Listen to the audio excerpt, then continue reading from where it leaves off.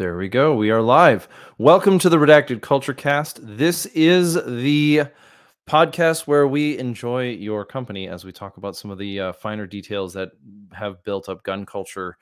Part of the goal and objective of this podcast is to have an opportunity to talk with um, people who exist within gun culture, who have ideas on what we think is right and true and good, and how do we really build a firm foundation of what we believe and what we think about so that as we go forward as a culture and a society we can make wise decisions and make good you know good progress going forward.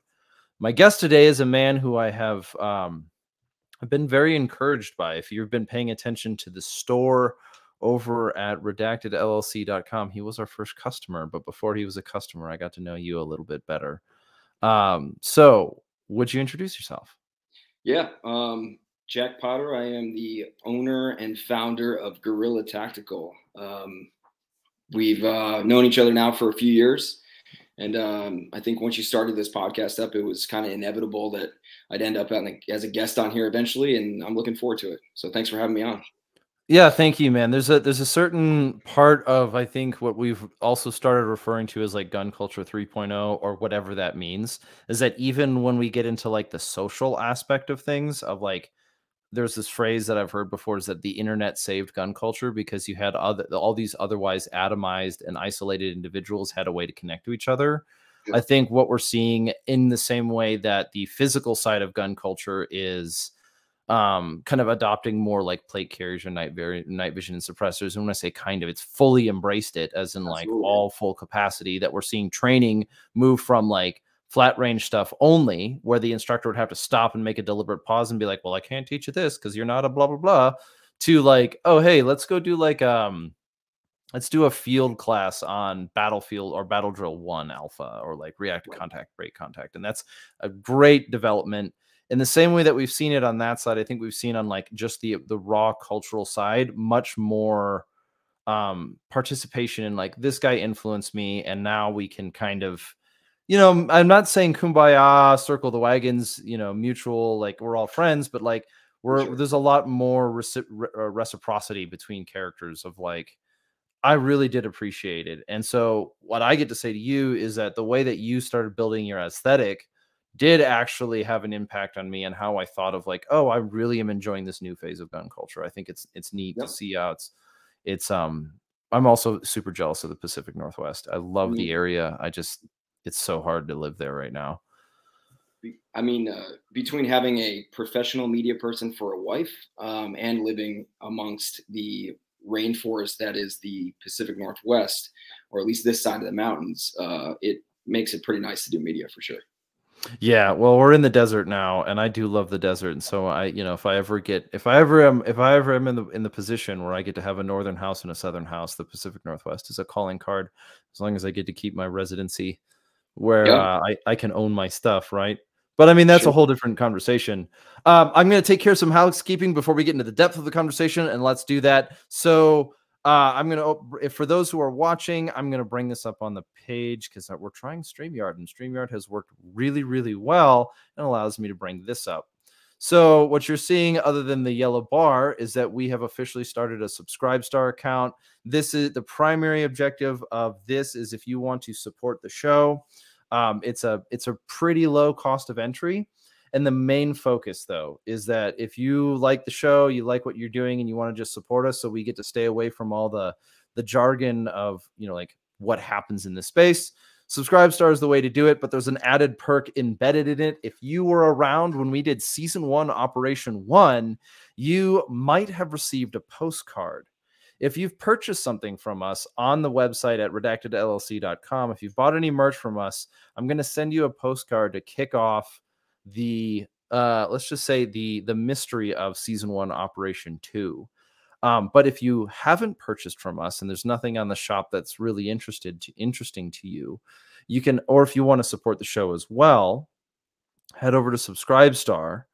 If you subscribe to us we'll gather your we'll get your we'll get a mailing address to send you a postcard and you'll get started with season one operation two for redacted other than that, the last thing that we have to announce um, is that if you if, if if if this is your first time watching, we are putting together a board, a skate deck with Raid skateboard, a Raid SB, Raid skateboards, and Orion Training Group to do a charity uh, skate deck. This is going to be the only deck we're going to release this year. We've already started putting the design out through the Instagram, and all of the proceeds of that will go to the Firearms Policy Coalition directly related to the brace ruling. This is our one skate deck a year. We're just doing the one.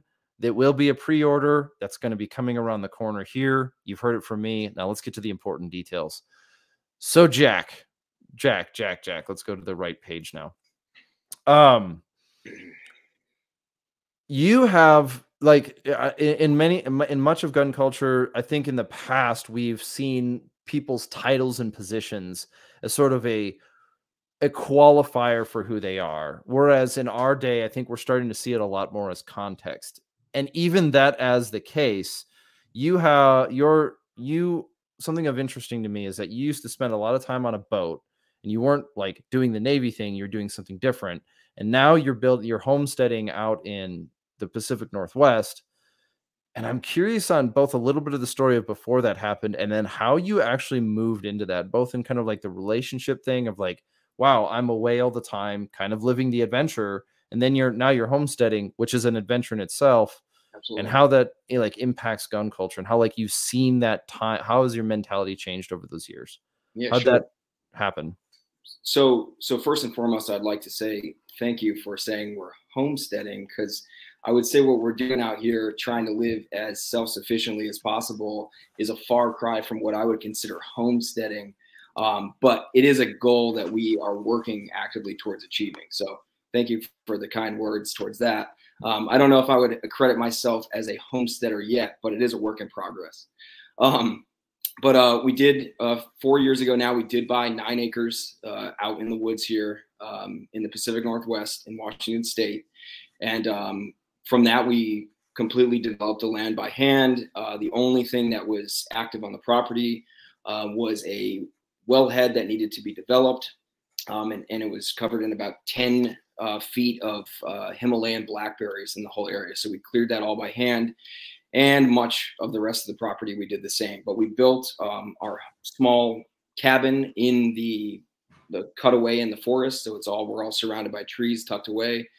Um, and in 2020, we were able to put in a large garden and we have water supply and we have um, septic on the property. And uh, so we are working towards this level of more and more self sufficiency, as I think more people should. Um, so, like I said, homesteading in progress for sure. I'm not sure I'm a homesteader yet, but we're getting there. Um, but uh, previous to that, yeah, I spent almost a decade um, outside of the US, all around the world, uh, primarily working in West Africa, uh, training West African militaries in boarding operations, RIB operations, um, vessel inspections, vessel arrests, and how to process, um, you know, those those ships in, in various West African waters. Um, I've also North Pole, South Pole, uh, Antarctica. I lived in Australia for a while, working down there, um, all around Europe as well, and that's actually on my way to Antarctica in 2014 is when I met my now wife, uh, and she she was on board the vessel as well as uh, doing media, um, and she is a tremendous media person. She's from Spain, and that's again, it's kind of this roundabout way. It was very lucky when we started the company that we had this person on our roster by default uh, to be able to help us accomplish what we're trying to set out to do and, and kind of put our mark on what is you know what we're calling gun culture 3.0 or whatever so um yeah i mean living the adventure life was extremely rewarding. Um i'm almost through my second passport um and i'm in my mid 30s um so we yeah lived that life for many years out of a backpack didn't really have the stability that we have now and i think when uh, 2020 rolled around with all of the COVID lockdowns and whatnot, that was perfect timing for us to kind of set our roots here on land. Um, and that's kind of where that change started to happen because what we were doing overseas and all the work on ships, uh, all those ships were grounded. We had friends who were stuck in vessels we worked on previously. They were stuck there for six, seven months, unable to leave the country, unable to leave the vessel. Um, and so we kind of consciously made that decision. Uh, we were actually doing a patrol off the coast of France um, in yeah late in the spring of 2020 before all the lockdowns took place. And we got back kind of in the nick of time before they started shutting things down and stopping flights overseas. And my wife and i made that conscious decision to say hey we're going to stay put um, on our land and work our land. Uh, and it was the right call because we probably would have gotten stuck outside of the country somewhere for months on end and that would have been not so great but uh, there's a kind of a, a, common thread that I see between both like a little bit of gun culture and also in kind of the self sufficiency. I'm I'm using homesteading. Sure. I'm gonna I'm gonna keep using this as a, as a, as a pillar of like when I think of homesteading, I think of somebody who, um, you know, you may not be like going out and developing the land entirely yourself, but you're building right. something that's yeah. yours, and and that means like you have the self sufficiency aspect. It's kind of like homesteading is like um the the idea of preparedness but for the long term like it's not really just about surviving the apocalypse it's like it's sort of being a pioneer as opposed to as and, and, and in our day and age we don't really have any like new land exactly the same way to settle as we have in the past um there's differences there are exa- ex- ex- exceptions to that statement but sure. you know I, I think of it as like in both gun culture and both I, I, I, I, I want to say I see this, but within gun culture and the sort of self sufficiency thing, there tends to be this attitude of I can't get started until I can afford all of it at the same time. Right. Or and you know and you know, like it's it's a it's a it's a minor thing, but it happens. Like oh, I can't get started training until I have all of the gear. I can't learn how to do battle drill one until I have night vision. And it's like well, there's there's different ways that that question can be addressed, but for you, as far as like self sufficiency goes, you went from living on a boat to building your own land, which is a bit of an adventure in itself. How Absolutely. did that how did you like what was your mindset going through that? Because how did you think of it? How did you look at it and and, and try to figure that out? Because that seems like uh, well, we we can't do it all at the same time, but we'll do it one element at a time. Um, and that's a good. I think it's. I, I just I'm inspired by it, and I don't, don't mean to be like too, you know, about yeah, it. Well, no, uh, fortunately for us, we always, well, we weren't always this way, but uh, we were quite handy people and had done a lot of different things over the years, especially with all the work I've done on the ships. Um, a lot of that was able to uh, translate directly over the, the, physical aspect of, of work that I would do on vessels, uh, carpentry, welding, you know, various skills like that that I developed over the years of different things that I've done, I was able to apply directly to what we did here in Washington, uh, which was which kind of gave us that confidence. But otherwise, uh, we had never built a house before. Um, and my now a good friend of mine and my now uh, operations manager Josh, um, who I think you met at, at Shot Show, he was down with us. Um, he and I and my wife at the time actually went in on this property and we built two different houses on the property together. Um, so between the three of us building it, we kind of brought all of our various past experiences together and our, our skill sets um, that we've, you know, derived over the years. Um, and we were able to kind of put those together and build what we did and we accomplished quite a bit um, but otherwise we had never built a house before but we had a dream of it and we did a bunch of research talked to a lot of people and we said hey we can do this and anything that we didn't know there's always youtube um, so it uh, it worked really well, and you know they are really solid houses, overbuilt. I must add, actually, um, but I'd rather have it overbuilt than than underbuilt. Um, but um, yeah, it was.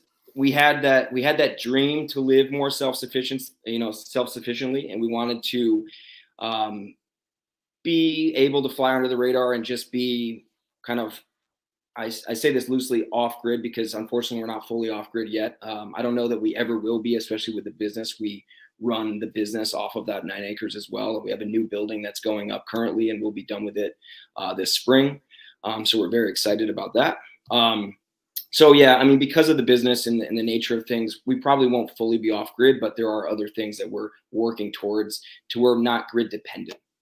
Um, I think is a good way to to state it. Um, so yeah, it's a work in progress, like you said. Yeah, that there's a certain difference in the mindset between people, and I know that a, a couple of characters have had influence on that subject. It, it, this is this kind of returns to the heart of the, the show and the heart of the podcast of like being able to make distinction between terms and what things mean and what we mean by what we say. Because yeah. in many ways, I think like one of the downsides of anti-intellectualism is that somebody else builds the foundation that your house stands on and so some somebody else ends up building the the foundation of your society it's not just well we can just you know raw our way through it um and so um you made the point of it's not necessarily like off it's not it's not off grid in the sense of like you're not but it, you're making a difference between being off grid as in like being quote unquote off the radar to like not dependent on on it right. as a major difference the old the old mindset of like the preparedness that I grew up with was sort of the the the the off after the afterbirth of the Cold War, where it meant the only thing you had two options: you could live in the suburbs or you could build a bunker in the woods, Correct. and it was like, you know, none of I didn't. I grew up in the I grew up in a rural rural countryside. We didn't have a bunker, you know, and so being dependent on this uh, on the ecosystem uh, on on the federal level infrastructure is very different being independent of that is very different than being you know isolated i guess for sure yeah mm-hmm. yeah yeah i mean i grew up um you know 80s and 90s um in upstate rural upstate new york it's the same thing um we had for lack of a better term a homestead in that area too. We had 14 acres of where we did all of our own gardening and had all of our own food supply. Um, and a, a, business as well that my you know parents had started in the 70s and, and ran up until my dad passed away suddenly um, a few years ago. But um, the uh, so all those that mindset was kind of instilled in me from a young age. Um, just growing up, my sister and I, and you know, working the family business, working the farm, um, and just having that that ability to think for yourself, work with your hands, and then put that practice, uh, you know, to action. Absolutely.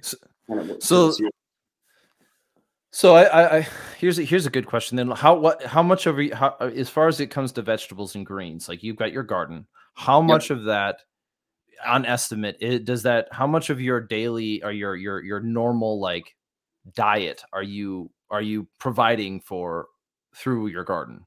So last year, unfortunately, was a true like an absolutely atrocious year for gardening. Um, okay. So I'm sad to say that less than 20% uh, through the growing season was achieved through our our current garden. We have a big space. We also have fruit trees um, and other things on the property as well that we've we've grown there. Um, mm-hmm. the previous year to that, though, 2020 and 2021, massive yields. Um, just things worked out last year. Last spring, we had a really cold spring and it, then we had a second frost that killed a lot of the starters and you know that's the that's the nature of gardening or homesteading um, something that i've grown up with my whole life more or less and that's sometimes the way the cookie crumbles unfortunately. Um, so one thing we learned from that is my wife is super into foraging. Um, we live out here in the pacific northwest and there are countless edible plants um, and you know different wild fruits and vegetables and things that are at our fingertips that she really dove into last year and learned a whole bunch about. It's a it's a hobby of hers and she does well at it. Um, so because the garden failed so miserably last year, we were able to pick up a lot of that slack from naturally grown plants and you know fruits and vegetables in the area as well that we supplemented with that being said, we were still doing, you know, grocery store trips every two weeks or whatever. It's just the nature of things. But mm-hmm. again, it's like this interesting level of self sufficiency that a lot of people don't realize that often right outside your own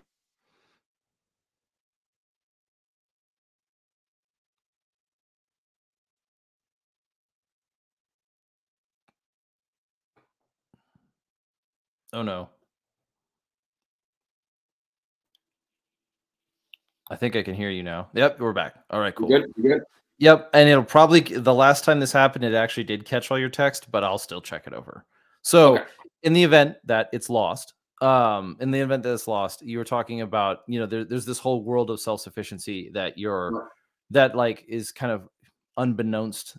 Uh, and I don't know if I'd say it's un uh, it's unknown. I'll I'll kind of describe it from my end, my perspective of like my maybe my my my childhood concept of like self sufficiency off the land or being able sure. to like go you know like pull go out into the woods and find edible plants and fruits and stuff like that is is sort of a, this weird mix between not being good at it where I was at and which which only help oh, I'm sorry it's not a mix between it was like in my environment I kind of had some ideas of it like I wouldn't say I'm not good at it like you're a kid you're figuring things out I didn't eat sure. the death berries but um you know being able to learn things like you know spot things like um, poison ivy and poison oak and knowing how to like maneuver through these types of environments and knowing how to like okay this grass is like this this is going to be this look for ticks this is edible this is not edible small things but then like in my mind i held this concept of something like aragorn from lord of the rings like walking out into the woods and just being like oh yes missile fight field grass bush and you like this will cure asthma and then just get you for three weeks. you know, and I'm like, like, like, and I'm sitting out here playing in the backyard. Is it, you know, in in the in the in the you know acreages around where we lived because we were in a rural area. Like, I'm not gonna live off of grass. I'm gonna go home and I'm gonna eat food. So, um, so how did that like? How did like what was it like watching that happen? Because you, you you said your wife is from Spain, so there is some cross pollination of what's out there, but not everything no. So what was that like for her and for you looking at self-sufficiency through this new lens of like trying to figure it out? Well, I think that um I think it was an easy transition for us in that regard because it was something that we are interested in. So uh, we're fortunate to live where we live because there's so many edible plants um, out there that you can, you know, eat, and not only edible but also uh, medicinal as well. That's something else that she's really into. Um, so between the two things, like it was a it was easy for us to do because it was kind of like a fun thing. We we walk a lot, um, you know, for time spent together, but also for exercise. And um, so we'd kind of just add that into our our kind of nightly walks around. We'd say she'd say, "Hey, this is a you know whatever tree, and this is this grass," and you know she maybe would bring something along and harvest things along the way, and kind of make a fun little almost game out of it. Um, that uh, then she would come home and cook some like amazing like nettle soup or something and it was it was like restaurant quality in my opinion so i was like this is cool like we're not paying for it it's right outside and uh, it's super healthy for me so i'm uh i'm into it you know it's all about that self-sufficiency i'm i'm into every aspect of it in that regard so there's there's a bit of um I, I know I know it strays a little bit too much into politics because it tends to be like you know, and it just it tends to come up in like a, kind of a political sure. or political adjacent conversation of like you have to know where your food comes. And why I say it's political is like you'll hear somebody like Mike Glover talk about it, who's not overtly political, but then you'll also hear somebody who like on the right they talk about well we need to know where our, our things come from, or like right. you know Joe Biden gives the president the presidential address and people are like yeah, but what is the cost of eggs and like all sure. of this kind of stuff, right? So. Yeah so like instead of straying into like the the overt criticism side of it, how have you seen like how have you personally observed the differences in like self-sufficient foods versus grocery store foods and like how did how like health quality? Do you grow your own meat? How does that work? Well, for one thing, as somebody who has spent so much time outside of the US and all over the world in different cultures, experiencing other foods and other cultures, um, all throughout Europe as well, because my wife is European. So I've been there countless times, uh, Spain and, and everywhere else in between. Uh, I will say that the food in the United States has a bunch of garbage added to it that you would not normally find in other places. Um, and that was one thing that she noticed when she moved here. She'd say, Hey, I feel I ate this and I feel bloated. I feel like I've eaten this my whole life overseas. I come here, I eat the same thing. And then you start looking through the ingredients list, and you know, the list is this long, you know, this long list of stuff that you can't even pronounce. And you wonder, you ask yourself, like, I don't know, I'm no scientist, but is this good to be putting in my body? I don't know right? Um, and I, am sure people have different opinions about that and, and, you know how much they go into their own diets. But so for me, uh, being able to grow our own food and harvest wild food that there are you know no contaminants, no known contaminants. I will say there's obviously things in the air, things in the rain, things in the water, stuff like that. Um, but without without any known contaminants, I think that that's like a much, in my opinion, it's a much better, cleaner way to consume food. Um, have you have you tried to have you tried to consider or have you looked at it how like oftentimes it's blamed on the in the industrial revolution and like sure. the in, in the industrialization of food and sure. like and, it, and and I'm I'm torn on this one. I'm torn in the sense of like it just doesn't it, it on the one hand I say I don't I, I don't think it matters in the sense of like you cannot go back to a pre-industrialized world without massive death. Sure. We're talking about billions of people just dying in horrible ways. And you can't ethically argue that that is justified in some massive like you know mass mass we're talking about like starvation of billions. Like okay, war crimes is not sufficient enough for this. So, so like we can't go to a pre-industrialized food system, which is a challenge. But so what we're facing now is that we've kind of solved the hunger problem through industrialization, but we haven't solved the nutrition problem. Sure. Of we've created new issues, right? I, I think, and and and so that's why I say I'm torn on it. Is like I'm not saying that it, I'm not thinking. I don't think that all of this is good. Like the idea that we don't know where our beef comes from is bad. Sure. We've traveled. I've traveled. My wife and I have had the opportunity to travel quite a bit. Um, not near. I am envious of your travels. We still have to hit the poles, but um, well, you know, like uh, but we do have the same experience of like when we're overseas, I tend sure. to feel healthier. When I was in Afghanistan, I always ate the local food first Yep. and then let that kind of work through my body and then kind of work into I didn't always I tried to. And so like there are differences in food quality. Sure. You know, there is this thing called foot bread. Don't eat the foot bread.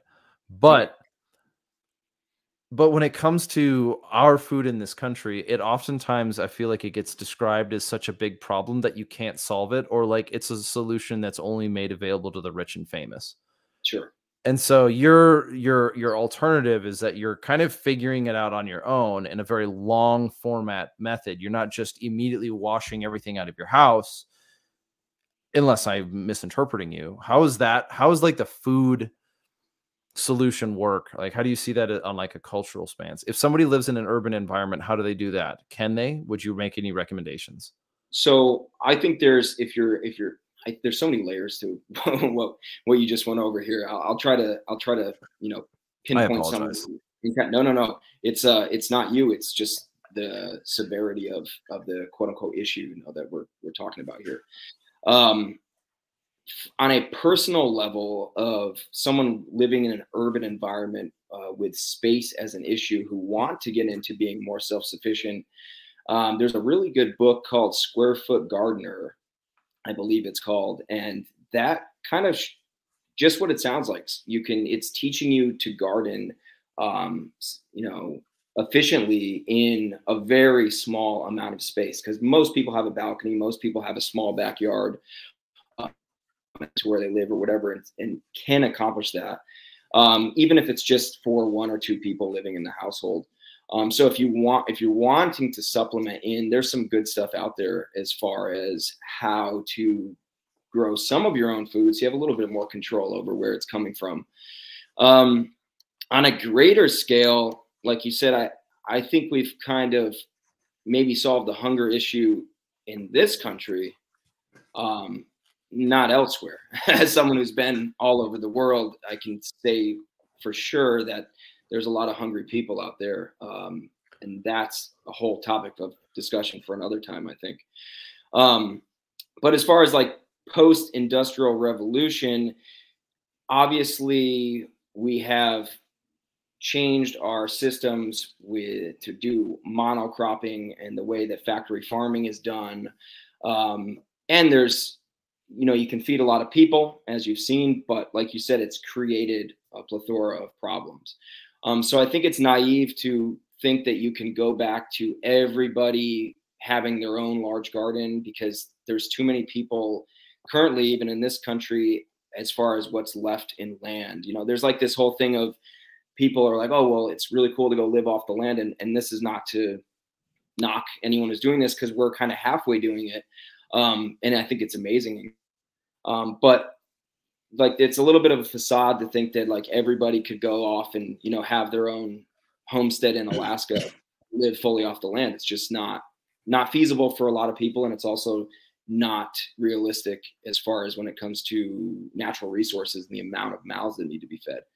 Um, so I think that you know, again, I feel like you could have a whole podcast all about this issue at hand, multiple, probably a whole series uh, or season of podcasts about this. But I feel like the only real way to attack the issues at hand um, with the way that we're producing um, crops and grains and meats and things like this in this country is to kind of revamp and re-gear um, to kind of like an older style of things where people are consuming less factory farmed meats and things of that nature and more vegetable and fruit content because those types of things can be gardened on smaller you know plots of land and using a lot less resources water and um, et cetera to do so.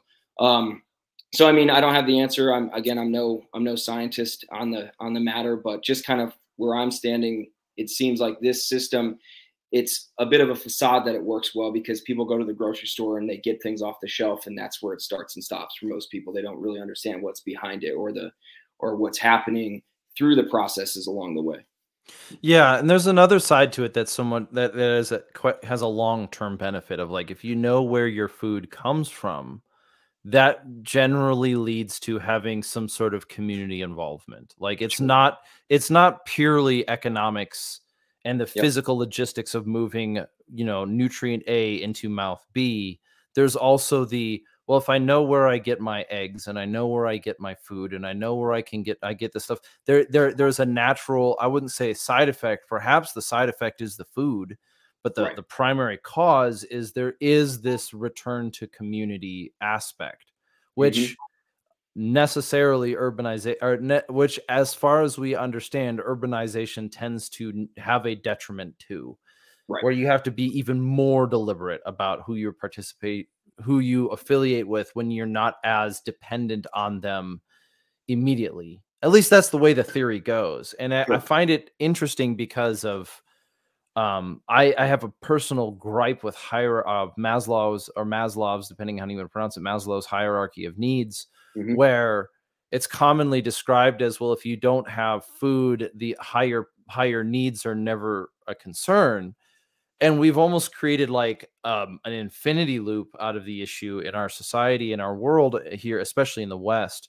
where yep. you have all of your needs except for the one thing that keeps you alive which is the desire to live and therefore none of the other needs matter and it negates them all and sure. and it, and it's it's that's a bit it's not a, it's not a full accurate criticism of Maslow's hierarchy of needs in fact i haven't read his work so i can't like be a, a, a proper philosopher and address the you know the premises or whatever but sure. i can say that we're finding out that it turns out in the star warsian sense if you lose the will to live none of the other factors matter right um and that's where it comes down to like what do you think is true and what do you believe in and how do you build your culture and what are your values and what do you focus on yep. and so I think that's a good way to shift a little bit in, you know, this is this is primarily a gun culture podcast, yet we're talking about homesteading and gardening and all these other things. And part of the reason why that's interesting to me is because what we refer to gun culture is continuously and gradually expanding. And mm-hmm. as um, Fred from Counting Coup said, he said that like the goal would be that in 10 years time there is no gun culture it's just americana Sure. Uh, and that's a paraphrase on my end. So, how how did you go from doing the international thing to then running Guerrilla? And like Guerrilla does multiple things, but you're mm-hmm. you you you make holsters. That's that's one thing, right? You mm-hmm. also mm-hmm. have a you do have an excellent media presence, but you also you do more of these things. Like how did that start? Why did you choose this, and where did you go to that? How did you get? Is that something that you could talk about? Sure, absolutely. Um, yeah, I mean, guerrilla Tactical is an I realistically, it's an idea I had well over 12 years ago that never came to fruition. Well, I mean, I say never, it, it has now since 2020, mm-hmm. but uh, for all those years, it didn't. I actually did work um, for my dad years ago and in trade for my labor i said i need some tools. And he said okay i'll trade you these tools that you need. And these tools of course were a bandsaw and a sander and things that i wanted to use to make my own holster you know holsters. Um, so this was before i started working primarily overseas and getting on ships. Uh, that opportunity came along and the idea of doing anything with Kydex was put on the back burner and became a forgotten thought. Um, so fast forward a bunch of years and 2020 lockdowns start to happen and they start canceling travel like we, we touched on at the beginning of the show. Um, and all the ships that I was working on were grounded. And uh, we made that conscious decision to say, hey, we're not going to leave the country again for the foreseeable future because we do not want to get trapped outside of it and away from our home. Um, so we, I was making, I said, hey, you know, I'm not one to really sit around and twiddle my thumbs and, you know, wait for the next thing to come by. I'm, I'm someone who wants to do stuff and, and be active and engaged. Um, so I was making pretty high end knives um, for a while. Um, it was like a hobby of mine. It was kind of an art form. I was selling them as well. It was it was putting money in food on the table and and uh, you know paying bills. Um, and I was having a lot of fun doing that. And I was using Kydex to do the sheaths for the knives. And funny enough, still utilizing some of those same tools that I traded uh, labor for from my dad years and years ago. Um, so I was doing these knives and, and I was making these sheaths and it was going well and it was fun. Um, and before you know it, some people were like, "Hey, would you be able to make me a holster for my Glock 19 or whatever?" And I, I was like, "Well, I mean, I'm making them knife sheaths, so probably."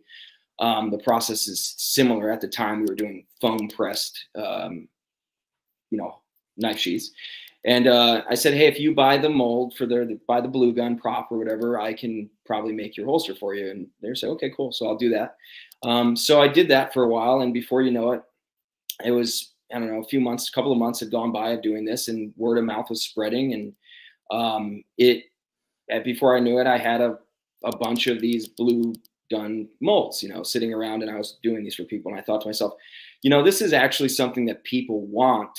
Um, and I think that people got this feeling that I was like a different, a different approach to somebody in the gun space. Um, and I do consider myself to be not that, you know, cookie cutter gun guy. I uh, grew up in the punk and hardcore music and grew up a skateboarder. Um, so when I'd see, you know, a, a crack or a crevice or a, a rail or a stair set or whatever growing up, it would be something that I wanted to make my own and, and you know, and, and trick off of uh, skateboarding wise. And uh, as I started to move into the gun space, I I had grown up with firearms. Um, you know, grew up in rural New York and built some of my first rifles when I was a young teenager. And I lived in Texas for a while, so I built a bunch of guns and we shot a lot down there when I was living there. And um, but to apply kind of my mindset growing up, I wanted to kind of put that out into the gun space with Guerrilla Tactical. I wanted to be a little bit of a different vibe or a different company, uh, but also a company that manufactured a high quality product, um, stood by our product, and had approachable quality customer service, and uh, but kind of put that punk rock attitude kind of into the gun space. Say, hey, this is these are well how we think. This is how we want to live, and this is this is how we're going to apply it to the real world. And if you think it's cool, then vibe with us. You know what I mean? That kind of thing.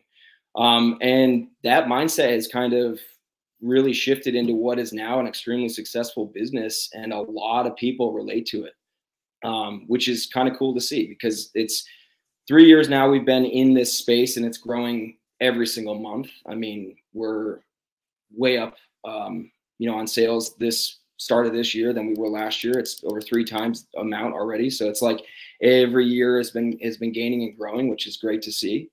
Um, and yeah, I mean, I'm here. I am on this podcast with you. We've gotten to know each other, and uh, I think you could probably attest to that as well.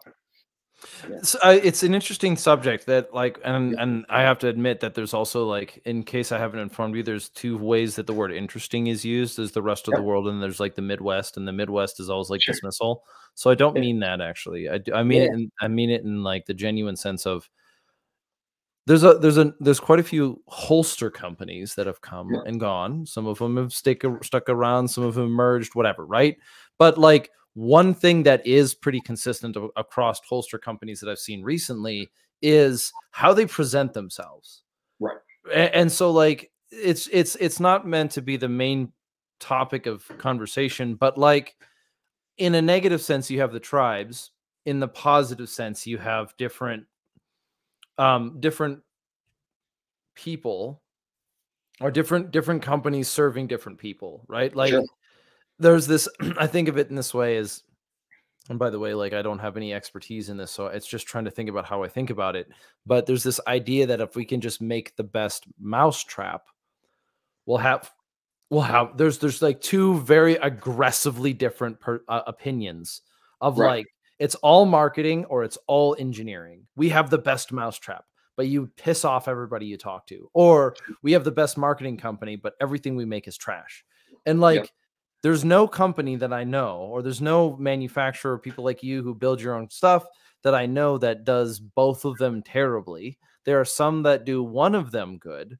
but the ones that I admire are the ones that do both well. They figure out both ends. And like right. marketing can be a dirty language because it Absolutely. can be pretty gross. But at the same time, there's also like a like a I'm I'm eh, there are people who need to figure out how to get the thing. And, sure. and and if I can help that, I can help that. Right. And so, you know, not all marketing is madman cynicism. For sure. Just, but there's plenty of examples of that being out there too. I mean, oh, absolutely. Yeah, definitely. You know, yeah. I mean, um, from us, um, what we want to give people is we want to give people the real deal. Like we're not here to um, say one thing and do another. Um, we're not here to appeal to everyone. Um, we're here just to be real. Uh, if you hit us up on a DM or uh, email, um, I'm typically the one who's going to respond. And that's something that I constantly am told as the company grows is people appreciate the ability to reach out to us and know they're going to get an answer and know they're going to be able to have a conversation um, oftentimes with me. Um, and that's something that we wanted to make sure. And I, I can't say for sure it's going to be that way forever as we get busier and busier. Um, but uh, I'm I always try to do my best to be uh, approachable and uh, available to our fan base, to our customer base, um, because we are 100% for the people, um, and that's something that we've wanted to instill in the company from day one. Um, that we are creating this uh, this space of inclusivity to where people can come out and they can ask the questions that they might feel ashamed to ask as a new gun owner um, or they can make mistakes uh, when it comes to their training and they can not feel ashamed by coming to us and saying hey what's the story with x y and z? And we'll answer all those questions for you as best to our ability um, because we want to cultivate a better less toxic space in this country to where people are becoming more prepared more self-sufficient and just educating themselves on how to live their lives maybe I hesitate to say better or maybe just in a more positive way.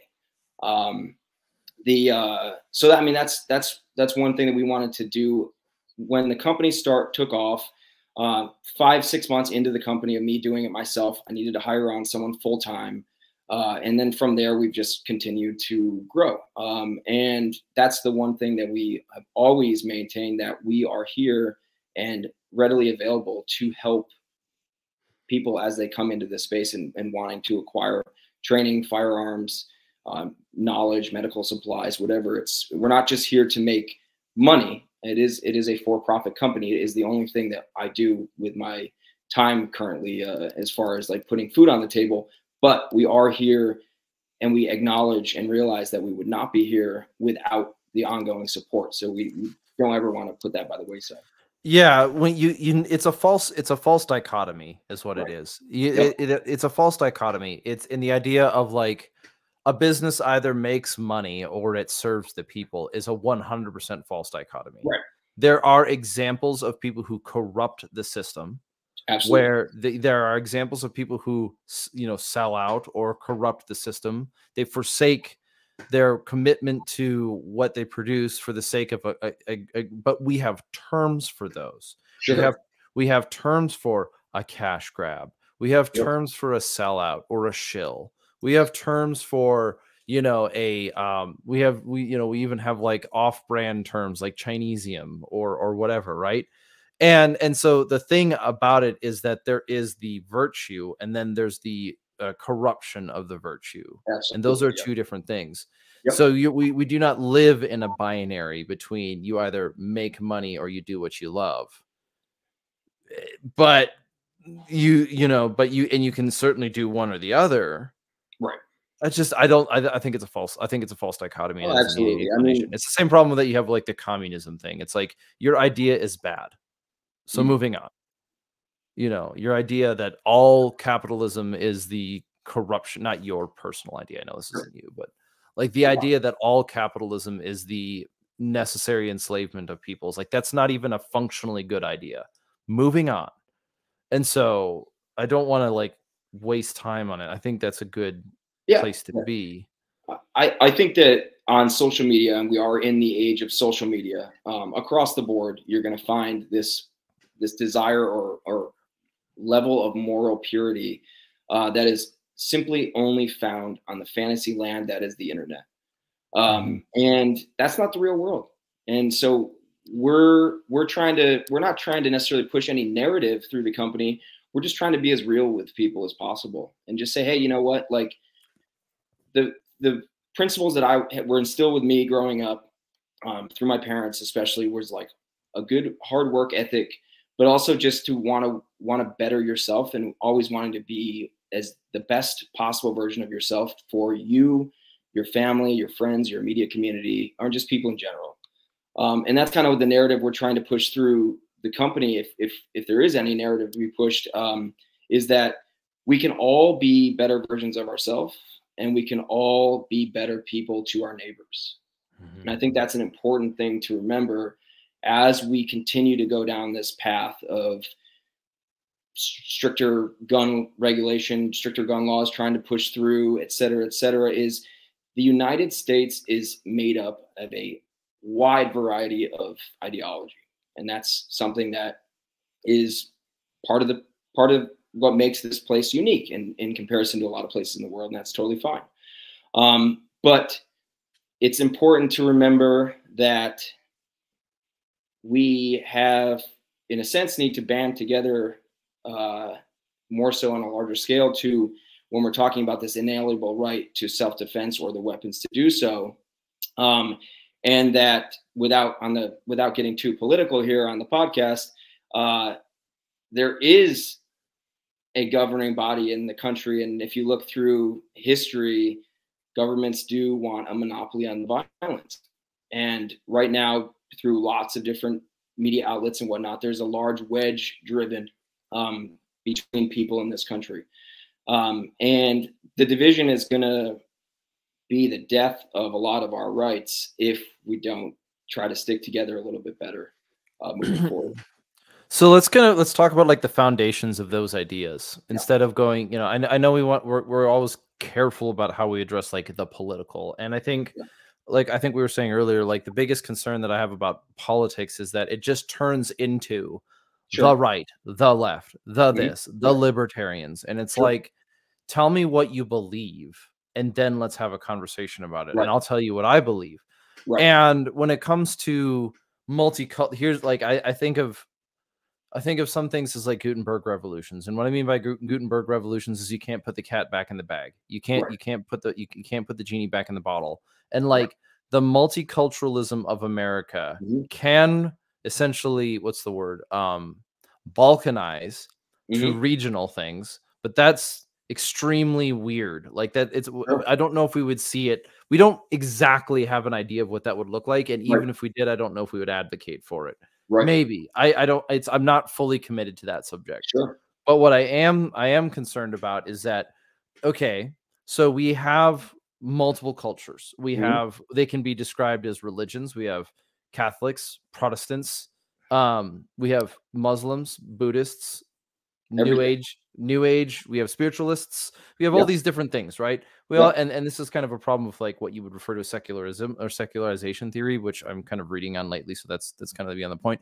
Sure. But the, the the issue with all of these different belief systems is that they all have different foundations for what they think is true Mhm. but then what they could all they could still all come to the conclusion that the human right to self-defense is inherent in being Yes. human and Right. therefore agree with the on that line and then move Absolutely. together on that line on the concept of rights Right. now what happens then the real question that we're facing is what happens when a section of that population whether by injection venom or by rot poison or whatever starts festering an idea that is antithetical to the genome of the city or Sure. of the population. And that's what it looks like with gun control in the situation of like, I don't know. The Americans are less con- should seem to be less concerned about where you pray at, which is this is an entirely different ethical question Sure. than whether or not you own then whether or not you believe in human rights and that becomes an, a philosophical problem of well if you don't if you don't ground your rights in what i believe what do you ground them in Sure. so how do we de- how would you address the idea of like how do you think of it as as far as a cultural problem when it comes to um we have multiculturalism on one hand Mhm. and that necessarily means that some of those people in that culture hate what you think is good how Mhm. would we even resolve that i you know i think I- that's the question that we're facing today I think, unfortunately, I don't think that's something that we could even begin to get into on a two-hour podcast. Again, I think that's that's something that could be a whole series in itself.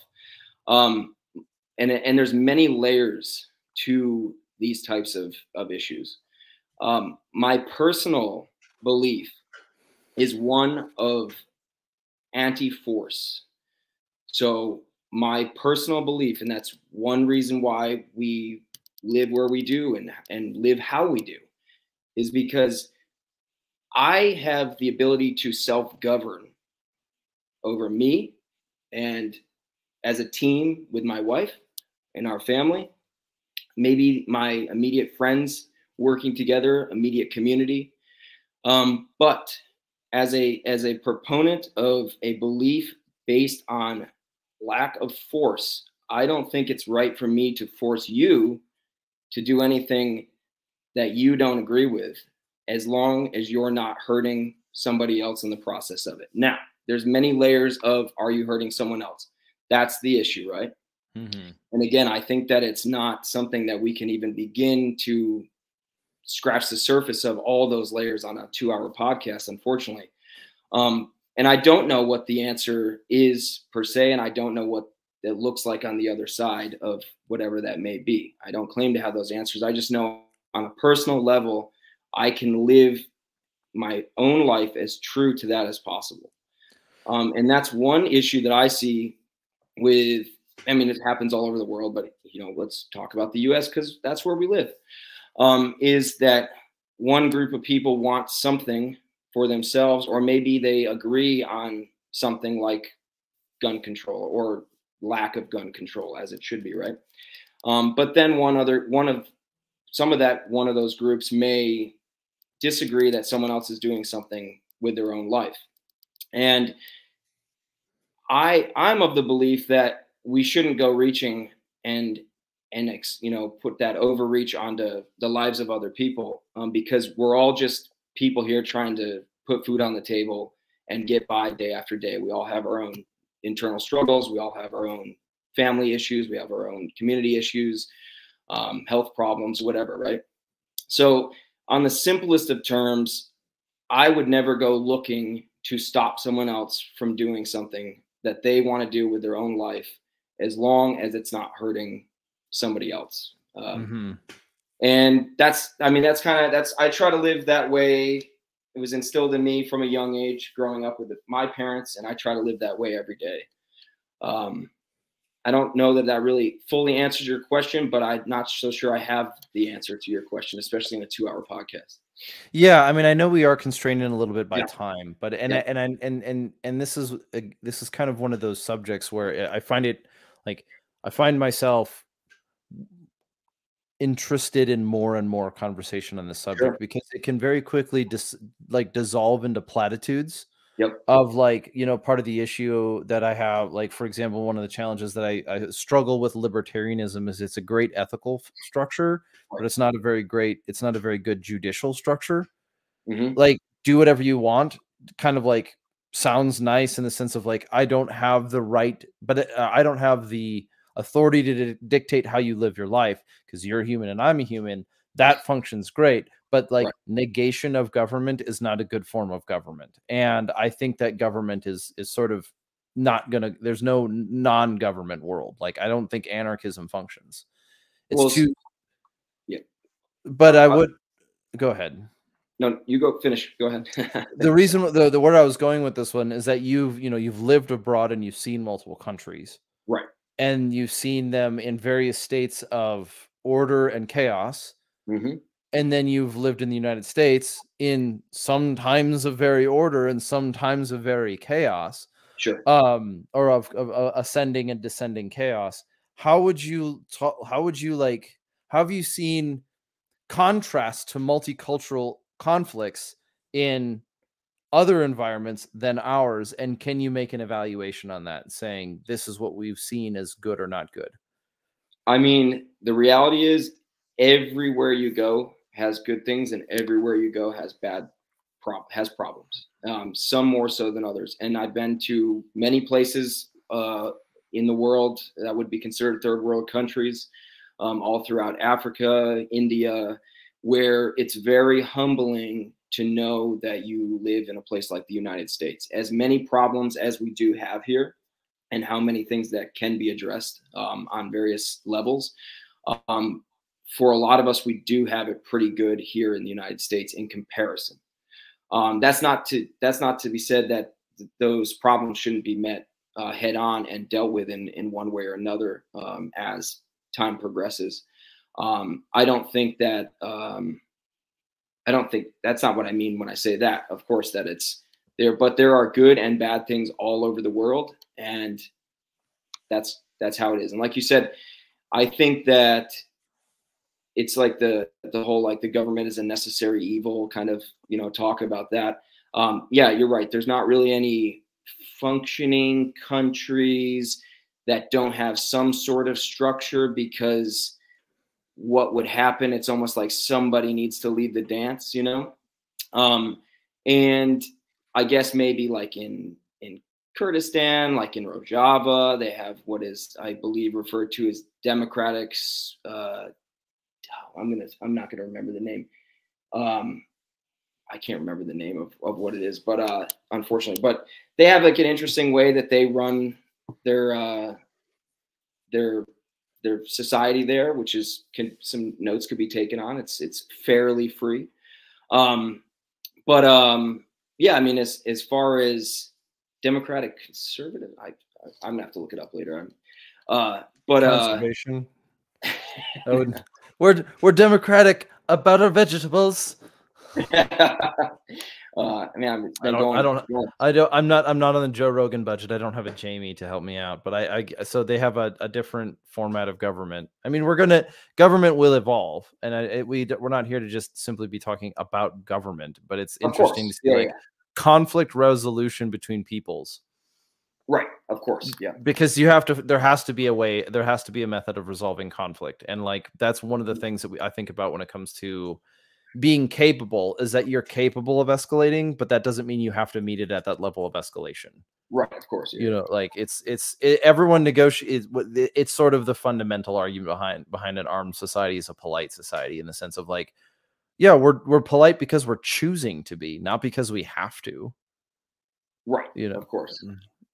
voluntarism is necessary Yeah, no, absolutely. I mean, uh, that's that's kind of how I was I was raised um, throughout the the '90s was with that voluntaristic approach um, in my Mhm. family. So, but It's uh, a- yeah, it's great. It's a great. It's like the great catastrophes that we've seen in like Eastern Europe and then like the the Soviet states of like, yeah, they did the thing and they said the thing, but it wasn't genuine. And now generations later are dealing with the scars of it, of of of acting the role but not not being voluntary, like forced forced forced conversion to communism. Communism fails because it requires forced conversion.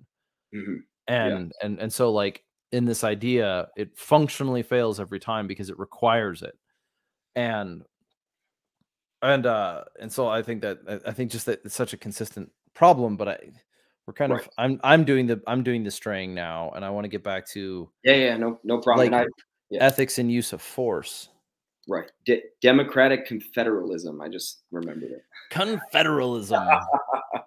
if anyone wants to look it up, democratic confederalism. It's it's interesting. Yep. Um, but uh, yeah, um,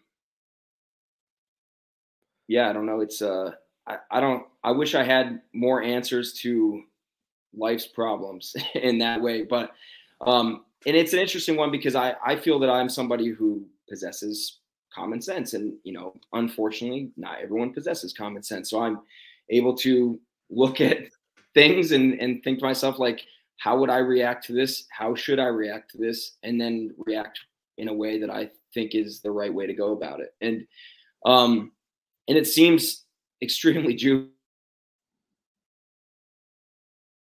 juvenile that pa- your parents teach most people or most kids when they're growing up is like treat other people how you want to be treated. It's a very basic concept. And that's that's a thing that we push with Guerrilla Tactical. It's like we we don't necessarily push people away and we, we treat people with we meet people with kindness and understanding if it's reciprocated um, and i think that's i i honestly think it works for me in everyday life and i've had a million experiences um, all around the globe um, some negative and most positive with many different cultures and many different people uh, with that approach yeah there's there's this i i, I, pre, I appreciate the I like the input on how you've been able to like address it. I mean, it's definitely not um it's not as um nut nuts and bolts as as as as the work that you do with Guerrilla on the physical side, but I mean, it's this is where we're at now. Like, if we're not gonna if we're not gonna have these kind of conversations, what we think is right and true and good, right. they will be had by other people who will then build the foundation upon which gun culture is is constructed. And sure. uh, you know and it, and it probably won't be in our favor and so like that's this is gun culture right this is who we are this is americana if right. we don't treat it like our own country and our own land then it will be ruled by people who think it's theirs and it's like hmm that's not working out too well for a lot of us especially those of us who believe in like human rights mm-hmm. they'll you know that the language has now been co-opted by detractors and it's all this hubbub about noise and echoes and anger and greed and whatever. Yeah, I mean, so. there's there's a lot of there's a lot of anger out there. There's a lot of reason to be angry. Um, you know, kind of across the spectrum, and and uh, that's unfortunate, and it's unfortunate when it comes out as violence, um, because obviously, I'm personally a believer in nonviolence, but I'm not a path of you know pacifist um, at all. Um, and I think that that's an important thing to remember as well, um, especially when we're talking about self-defense and tools of self-defense or or protection of family, friend, and community. Um, and that's that's one of those things that we really push with with the company Guerrilla Tactical is that we're not only um, advocate for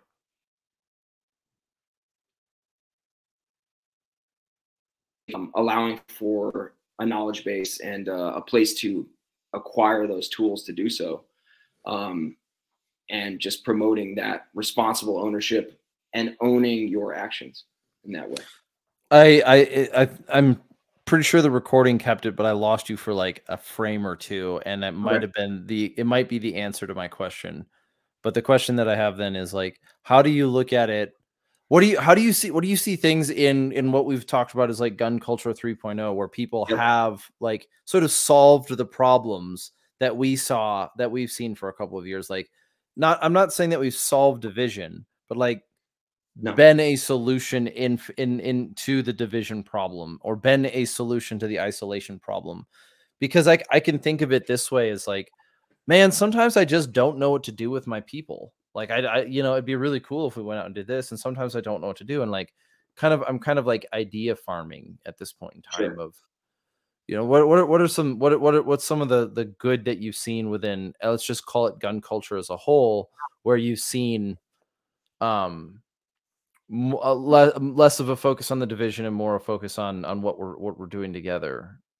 Well i've certainly seen a plethora of people along the philosophical um, spectrum getting training and getting armed and and waking up to the fact that uh, these are inalienable rights that we all have in this country and we should take full advantage of that which has been a good thing um, i think uh, because i'm a firm believer that uh, when it comes to gun rights in this country the more guns there are the more responsible gun ownership there is it is going to be a better and easier outcome for those of us who want those rights to be respected.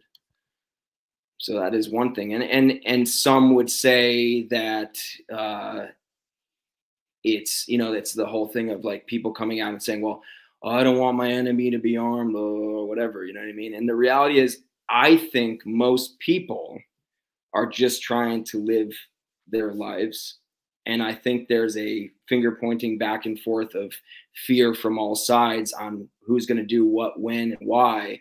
Um, and I'm not completely convinced that anything is going to happen in that regard.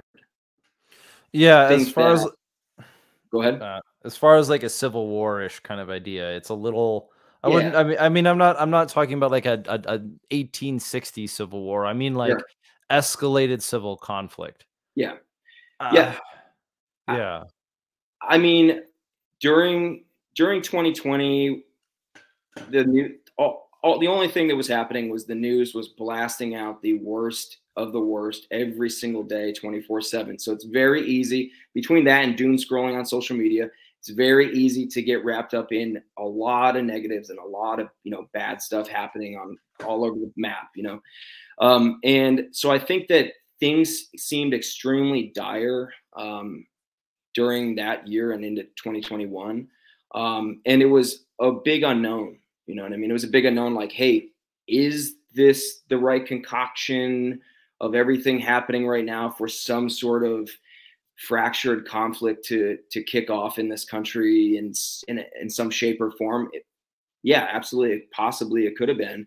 Um, fortunately, it did not um, because I'm sure you can attest uh, in your your prior service and working overseas and, and the things that I've been involved with and seen overseas. It's like the people here who were, for lack of better terminology, fantasizing about this bloodlust for violence and almost calling for it.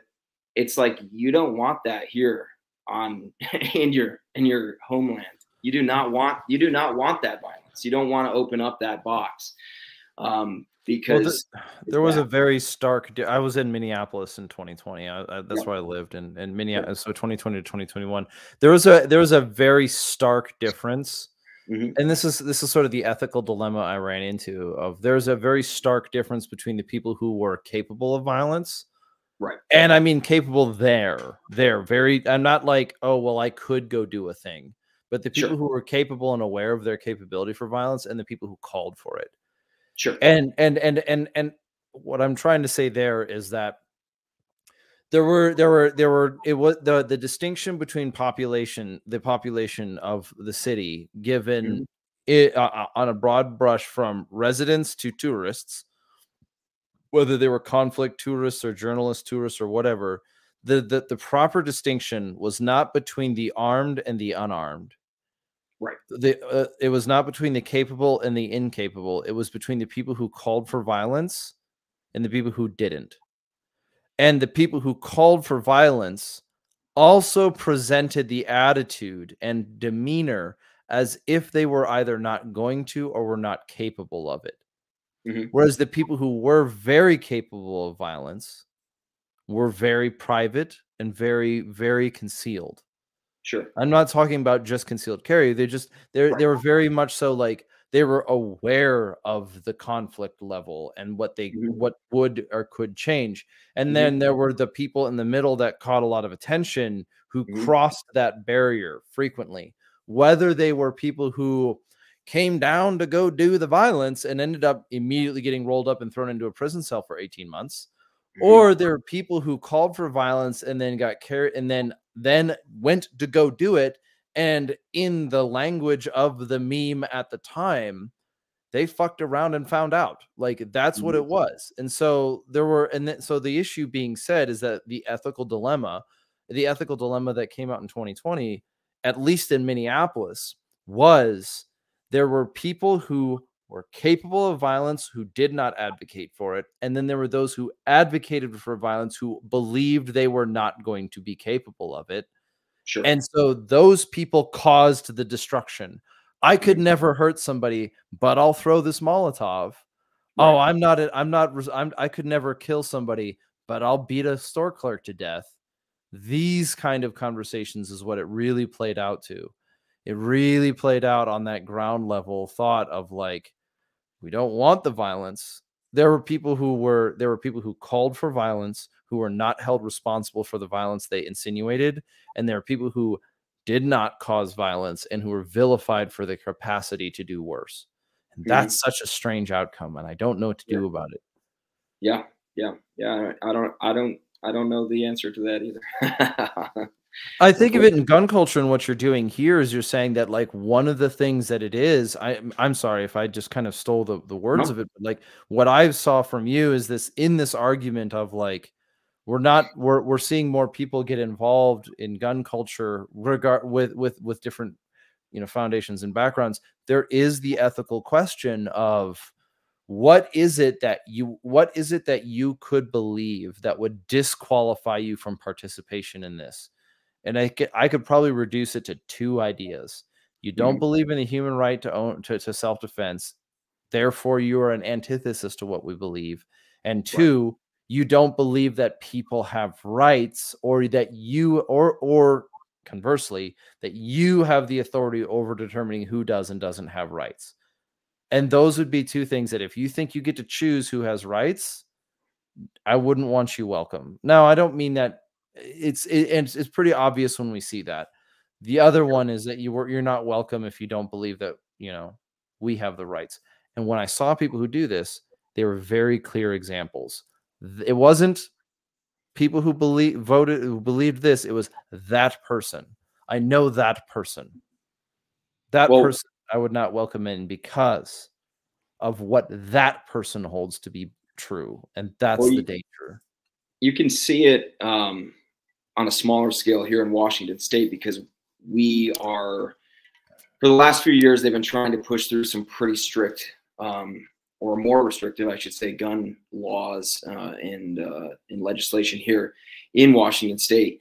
And one thing that happened with 2020 was with all the shutdowns, a lot of companies changed their you know workforce to a working from home workforce instead of coming into the office and then very quickly realize hey we still get the same or if not better productivity from our employees without the overhead so why would we go back to bringing people into the office um, so a lot of these companies especially like tech companies and, and design companies and design firms and stuff um, that were located in you know central northern california um, a lot of these people fled california which was you know it's a very expensive place to live you know amongst other you know problematic parts of it. Um, and they fled you know, surprisingly went to texas a bunch but uh, up here a lot of people came to oregon and washington from those those types of uh, places so what's happened is a lot of people have come here moved continue to move to seattle portland um, uh, uh, and those those types of areas and they're becoming a large voting force. Um, so it's adding to um, a lot of liberals who in neoliberalism that is already prevalent in those places. And those people are then starting to help in a large way decide for the rest of the rural, uh, you know, parts of these states what you can and can't own or what you can and can't do. Mm-hmm. Um, and that's one thing that we're seeing here a lot because we're dealing now with they're trying to push through a, you know, quote unquote assault weapons ban, a permit to purchase, and uh, a few other very restrictive um, policies like that. So it's an interesting one to see for sure because these are people who have come from a place where firearms weren't prevalent and in most cases they probably never had to worry a day in their life about any sort of protection or or uh, a need for protection. Um, and then therefore they're like oh well all the shootings and this means this and this means to do better we can just get rid of guns. And and it's just like you clearly have no real underlying understanding of how this works or any sort of um, you know memory of past history that has shown that this does not work the way that you're proposing. Um, well, it's it's also uncomfortable that your emotional reflex to seeing right. something that you don't like is authoritarianism. Like right. that's that's I, I, find that like like the, that your reflex is immediately go to authoritarianism. Okay, well yeah. something bad happened, make it illegal. Like yep. You're not. It means you have no interest in in in in, in effective long term solutions. It's yep. just ban it. I don't like it. Well, then no, you shouldn't this be is, voting. This is scary. Ban it. You know what I mean? Or this is whatever the whatever the reason may be. Yeah. Um, yeah. And uh, I mean, and that just goes right back to the same kind of thing that we touched on before of this this idea of, and it's it's not a perfectly formulated and finished opinion, but the idea of if you're anti-force, then by default, I believe you're anti-authoritarian because you shouldn't i should not force you to do something that i don't like simply because i'm scared of it or simply because i don't know enough about it or i'm uneducated on something that you're interested in or something that you do in your own life so what right yeah. do i have to take that from you and that's the same thing with with the gun grab ideas so mm-hmm. I could, you couldn't blame somebody for wanting to move to your neck of the woods no pun no. intended because it's a beautiful land. Like it's a beautiful oh, it's, countryside. It's incredible. Um, yeah. And so, like, you couldn't blame them at all for that. And and there's all there, uh, and it's just it's not a reasonable solution to say keep you know build a wall and keep them in California. Like that's not like no, and it's just okay, dude. But but and that's also no less authoritarianism, uh, authoritarian. So there is, and so like even I, I like your idea. I think there's some merit here, especially in regards to like culture and ethics regarding to like we do want participation because when people participate in the culture they become aware they they, they become more aware of their own capacities and therefore are sort of necessarily bound or at least it's very obvious when they re- ignore their individual responsibility to something. Right. And and and gun culture is very good at policing its own sometimes overzealously sometimes underzealously um to to recognize like hey i mean i you know we're not all fuds when we say that can you not do that? That's that's not safe. Like we're not all fuds when we say that some some people are definitely are like no questions about it but yeah you know but it is i think that you're you're uh, like a, I think that a benefit a cultural benefit is that the more people are involved and as mm-hmm. gun culture grows the more they're aware of oh, maybe I shouldn't so flippantly call for like death to the patriarchy or or the heteropatriarchy or whatever your word is today. When you're like, that means I might have to like, you know, do something about it. And like, no, I don't want to be the guy to do something about it. That's horrible. You know, I don't, the only way to achieve my utopia is the death of everybody I don't like. Well, that's not utopia. That's yeah, and yeah, and absolutely that's that's absolutely not utopia and what is utopia that's a whole nother question because people have different ideas about what that is and is it even achievable right um, but the one thing that i think is is sufficient to say is that in my lifetime probably in our lifetime we're not probably going to see some revolution in the united states and whatever this I, I think people have a, a, great way of existing and carrying on and there's going to be ups and downs and i think that's what we're going to see. And i think there's that meme that says you know if you think this is bad it's going to get a whole lot worse. And i don't unnecessarily i don't necessarily disagree with that because i do think that we are headed in a more negative direction um, worldwide. I don't necessarily mean strictly here in the United States. Um, and we will have ups and downs along the way, and that's how it has been since recorded history.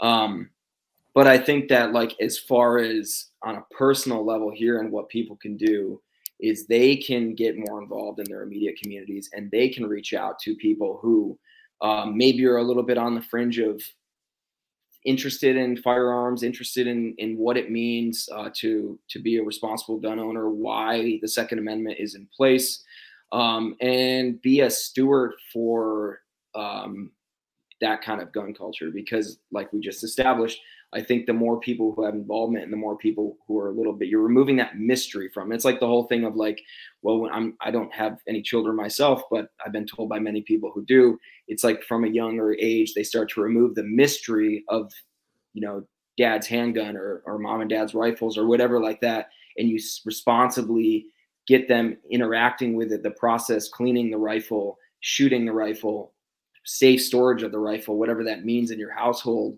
Um, those are important things to break down those barriers. And the same thing can be applied to adult people here in the country who maybe are a little bit afraid, but also are interested into why it's so important to be able to possess these weapons in this country. So yeah, from a childhood thing, I can think of my own youth as like there was a pretty stark distinction between the children that I knew growing up when I growing up when I was a child who like grew up in the same like we know how guns work, we know what they're for, and there were different varying levels of like um, concern or control, but then there was a very stark distinction between those kids and the kids who never grew up with any of it in the home. And like right. the one funny example from my childhood was when I was a young kid, I was you know younger than 10.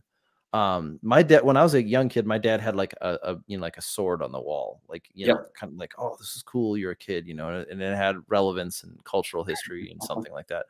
And so I was, it was, it was like the coolest thing. Of course, you know, you're like five years old or six years old, and you're like, oh, it's so cool, right? Sword you know, it's a sword. You know, you're you're a boy. You're like, oh, well, you know, the, the movie Hercules came out. I have to have it. It's awesome. You know, whatever. I don't need to justify it, but like, you know, and every once in a while, my dad would take it down off the wall and he would let me hold it and he would be yep. like, you know, this and he'd talk about it and, and, and whatever, you know, and, and then we'd put it back and, and eventually, you know, my dad and I would, he, he would buy a fencing sword and we'd, you know, fence in the backyard and stuff like that. Well, one time I invited one of the neighbor boys over and I was getting older. I was getting, you know, I was, I was taller. I could kind of get it down off the wall. Right. And so I had like, you know, my, my, my, my parents had trusted me enough to like everyone, you know, every once in a while I'd take it off and they wouldn't, you know, expect anything of it because it'd be, I was old sure. enough. But whatever, you know, I wasn't like running around the yard with it or anything. It's like, oh, this is mm-hmm. cool. Uh, and so, uh, like, uh, this neighbor boy came over, and I was like, I handed him the sword. He, like, I, took, I was like, my dad has this. It's so cool. And so I, I handed him the sword, and he immediately just grabbed it and stabbed the couch. That's the first thing that he did. Just took it, cool, stabbed the couch, and it was just like, "What are you doing?" You know, you're you're, st- you're standing there with horror, like you. And, and I, I, wouldn't necessarily. It wasn't like malice in the sense of right. like, ah, I hate your family, die couch. It was just like, oh, it's a sword. What do you do with swords? You stab things. There's a couch. I stab the couch, and you're just like. Oh, no. So yes, I got in trouble for that. And needless to say, I was not allowed to show anybody the sword anymore. And I think of that in some ways, in some parts of the culture, that happens, but that happens over time. And that's a very big distinction from somebody who that's it that's a very big distinction like there is an element of our american culture that that quite frankly is all that needs to happen is that you need to be able to move from let's just say sheltered or ignorance right Sh- sheltered ignorance of, of how things work in this world because right. gun culture does not we do not admire licentiousness or food mm-hmm. or, or, or or folly, like open folly. There's right. you know there's people who push it, but like whatever. And then there are people who you know but but like there's a certain element that it's like you you shouldn't be how am i saying this there's an element within the, the, the uh, in our american culture that is ignorant of guns but somehow through some form of immorality believes that they should be in charge of them and that's wrong and the sure. question is sorting out the maliciously ignorant from just the ignorant. and then and because there, there is a certain level that like i think there is a certain level where it doesn't matter about it if you don't know anything about it you shouldn't be voting on behalf of it and that's a problem i don't i just don't think there's an any, any ethical uh, there's no ethical escape you can't say you mm-hmm. didn't know dude you're 30 you know the guy in congress who's saying that the the, the brace turns it into a machine gun there's no forgiveness for you you should not be participating on the congressional level when it comes to firearms if that's what you think but we're and we're trying to figure out redresses of grievances for that one. But on the cultural level, we win in the long game. We're all we're going to win in the long game. It's just how do we do it?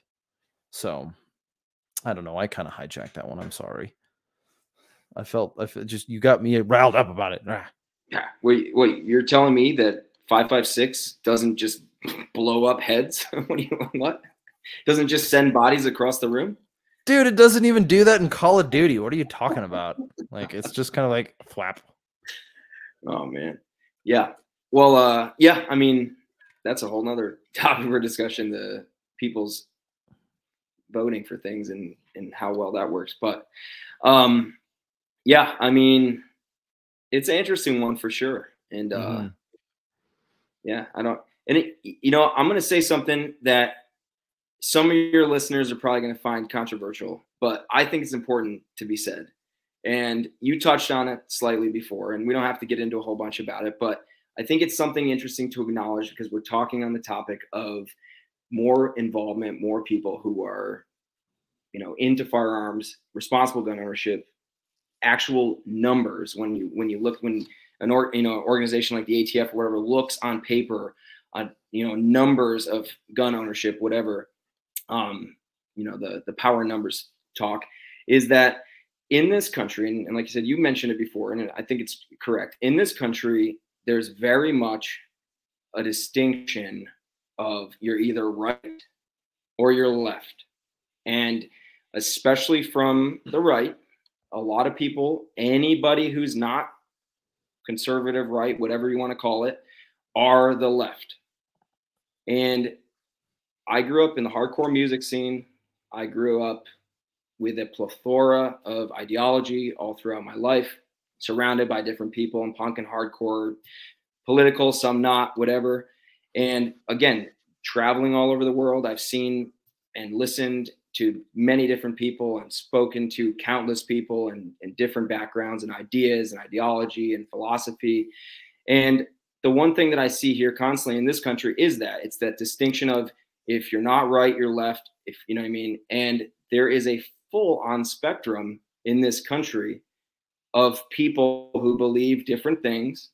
And the reality splitting, we're kind of getting into the grass here and, and you know, splitting hairs when you get too in depth about it, because we already established that there's probably not going to be some revolution that's going to take place. And then on the other side of it is what like we're going to keep plugging along at some form of what we have right now with ups and downs for probably the rest of our lives. So in my opinion i'm not going to get too up in arms about somebody else's like theory that they've read because that's just something that they're trying to apply to themselves or to their own friends and family group community whatever and that's that's whatever right?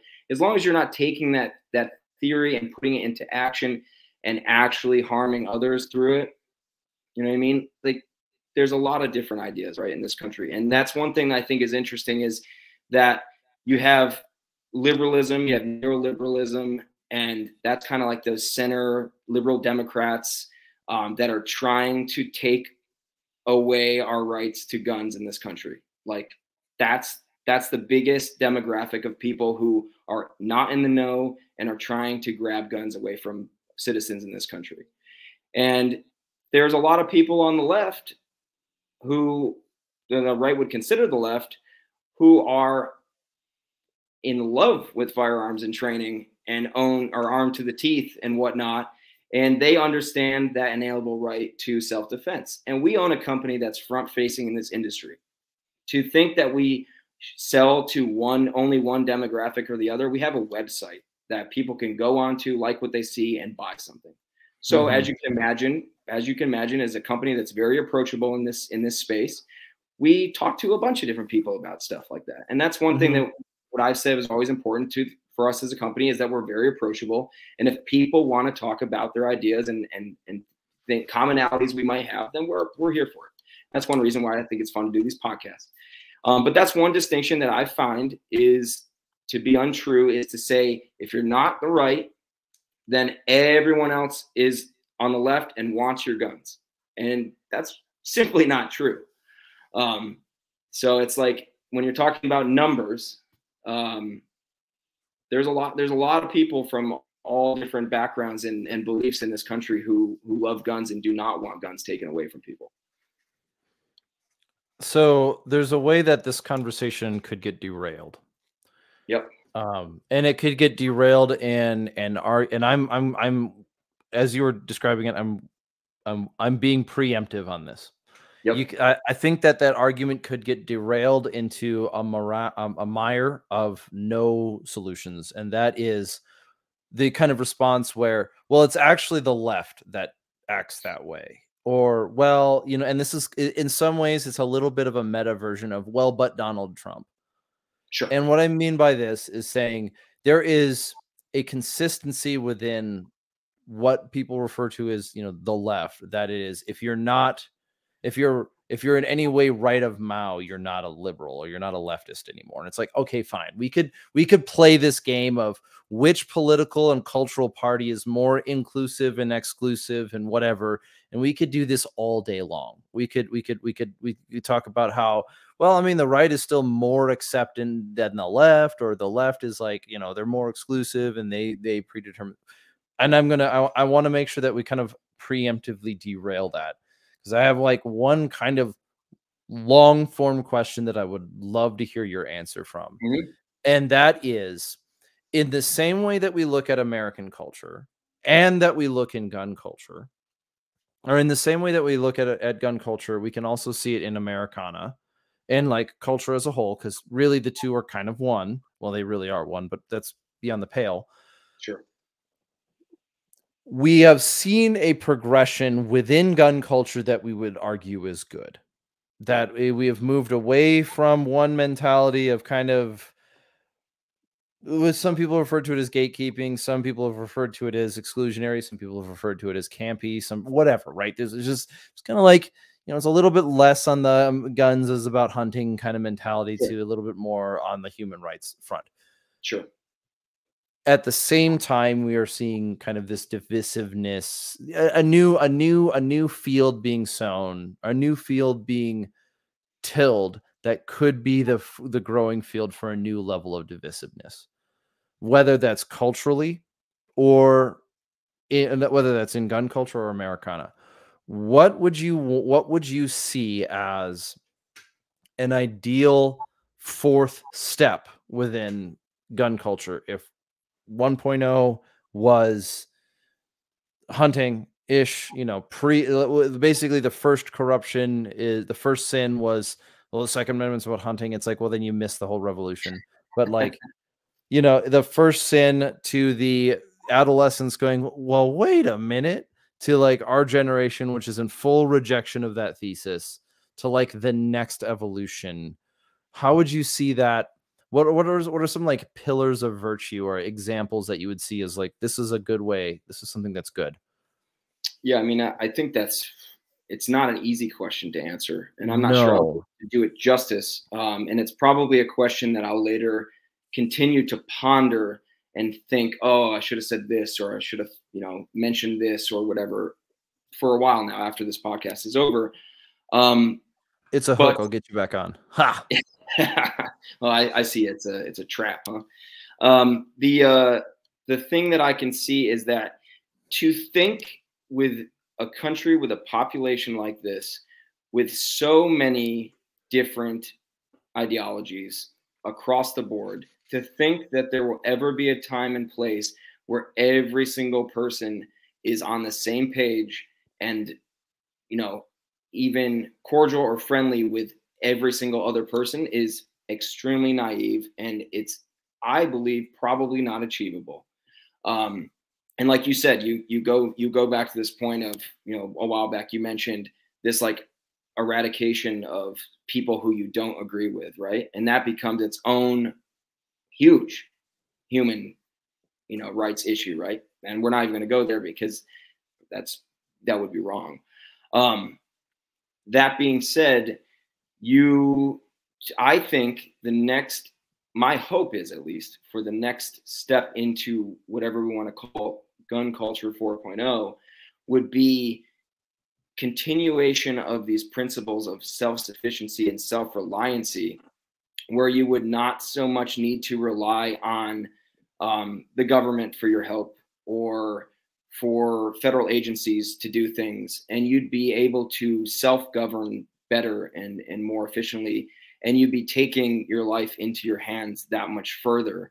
Um, and if and i do think that humans are tribal people so there's always going to be you know bands of like-minded individuals getting together and that's fine. Um, and i would like to see if there are these continuation of bands of like-minded individuals that they're able to coexist in a sense with other bands of like-minded individuals even if that is separated space completely and that's just kind of the nature of things. But i would like to see for people to continue down this path of becoming more tra- you know better trained more aware better equipped um, solidifying our right to have and bear these weapons of war is what essentially they are.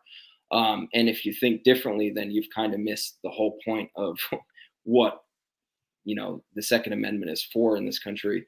Um, and you are free to then live your life as you see accordingly. But I'm not going to tell you what to do, or or am I going to encroach on your own business? Um, and I would expect the same from you. So I think a, a further continuation of that is going to be a good way forward. Um, in as possible of like a successful progression as we can ask for i think so progression you know progression implies there's movement in a direction you can't progress right. without direction right. and so right. i think you know in, in some ways the ultimate form of progression is or the ultimate aim of progression would be like a value a virtue right and so we're moving like i think of I, i'm curious on on your thought on this one too then is like at some point in time we would want to see that virtue of like self-resilient or self-reliance and self-sufficiency seen as virtues we want to see that in the culture and then also somewhat codified in culture where in you're not punished for being self-sufficient. And the, the greatest example of it that we see perhaps this happening now is the idea that a person would defend their own their a, a person would defend their lives and be punished for their capability of doing so it's not that they're you know it's not in the legal jargon garbage it's that the greatest egregious is that you would do the right thing and be punished for it and right. and um how do you so you know that and that and that is necessarily like kind of it would be nice if pol- politics wasn't so distasteful but perhaps it always will be. Um, but then I would oh. like I would like to see you seem to be talking about this in the sense of the next generate the next evolution of gun culture is going to be more focused on like self-sufficiency and and in and self-reliance as a whole with er, embedded within a, the cultural necessity of community and participation. They're not divorced from each other. Right. And then that would be in direction of the virtue of like we are we are humans we are self-sufficient we don't need a nanny state to run us which always divulges into tyranny. And so how so like would you say like 4.0 or is it like even 5.0 how far how far ahead do you think we can even look? I mean i think that's really hard to say exactly how how far ahead we can look. I mean i i'm not even sure that we're i mean i think we can kind of see you're on the cusp of 3.0 um, that we're calling it uh, for maybe it's maybe it's 5.0 or 6.0 to get to that point.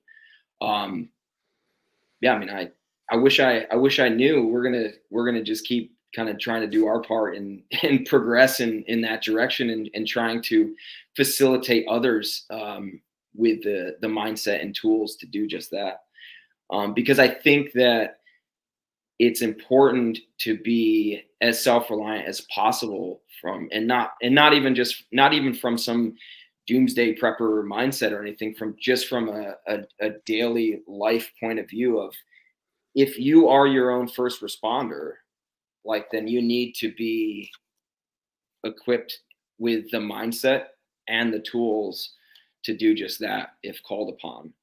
Um, and you know that happens every day on on small scale things but on a larger scale thing as we say like we referenced the meme you know like we, we did already of things are going to get a lot worse you know you think they're bad now they're going to get a lot worse. What does that look like? I don't know. I can't see into the future unfortunately. I don't have those those uh ability psychic abilities or whatever. Um but assuming that we have ups and downs through the rest of our lifetimes then do we not want to be as well equipped as possible um, to face anything that may come our way head on? It goes back to what I think you guys, what I see in your company that you and what you do, your ethos, the ethos that bleeds from your edges is always self sufficiency is its own moral virtue. Right. And I do appreciate that. Like, that is, I know that's going to, I hope that doesn't sound too much like flattery but I do appreciate that about your company is that like self sufficiency is its own moral virtue. It doesn't need justification of yeah. circumstance. It doesn't need justification of you know something else. It's like it is a virtue. Being self sufficient is not. It's not a. It's not a reactionary. It's just. It's good, and yep. so it doesn't require a pending apocalypse to justify. It doesn't require things are getting bad, so grow a garden. It's like you know it's it's it's it does that you can break it down into scenarios sure like it's nice to know that if i wake up in the morning and the grocery store is out of peppers i can go to my garden and pull peppers or whatever the equivalent of that is i have pickles in the basement or whatever the the fear that not having to live with the fear of potential starvation tomorrow does open up some things I think it's great that you guys put that out as far as like it does come out in it, it, it does come out in the cracks, in the light, in the in the bits and pieces. Yeah. So and, it, and I mean that's kind of like a reference growing up in the punk rock and in hardcore music scene as a as a skateboarder, avid skateboarder for years. It's like my view of the world is a little bit different than a lot of people in the greater gun space at this very time. You know, there there are like a there is a niche group of us within the space, which is which is cool to see. A lot of like there's a lot of old hardcore kids and stuff who are owning companies in this in this space, which is is kind of a, a cool crossover to see. And they often cultivate that same mindset. I don't know if it's just comes from years of um, kind of being aware of alternative ways of, of thinking or viewing the world. Um, but that's kind of what we wanted to do is, is through our media and message too, is that cultivate those ideas, but also kind of put out that imagery of like, hey, like you don't have to fit a specific mold um, or what people in the gun industry think you have to fit. You can be yourself and be you and mm-hmm. live a good life and be good to other people and be prepared, be trained. Like you can be yourself and do all of those things. You don't have to be the typical gray man guy with the you know Vertx backpack in the you know like you don't have to be that person. Um, you don't have to be some operator.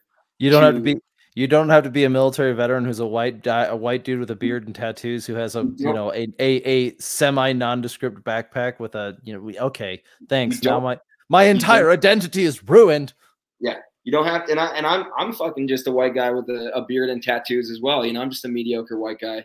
Um, but we are trying to kind of cultivate that in this space that you can be punk rock, you can be your own person and living your life the way you see fit, and you'll still have a place in this industry, um, or you still have a place in in this culture.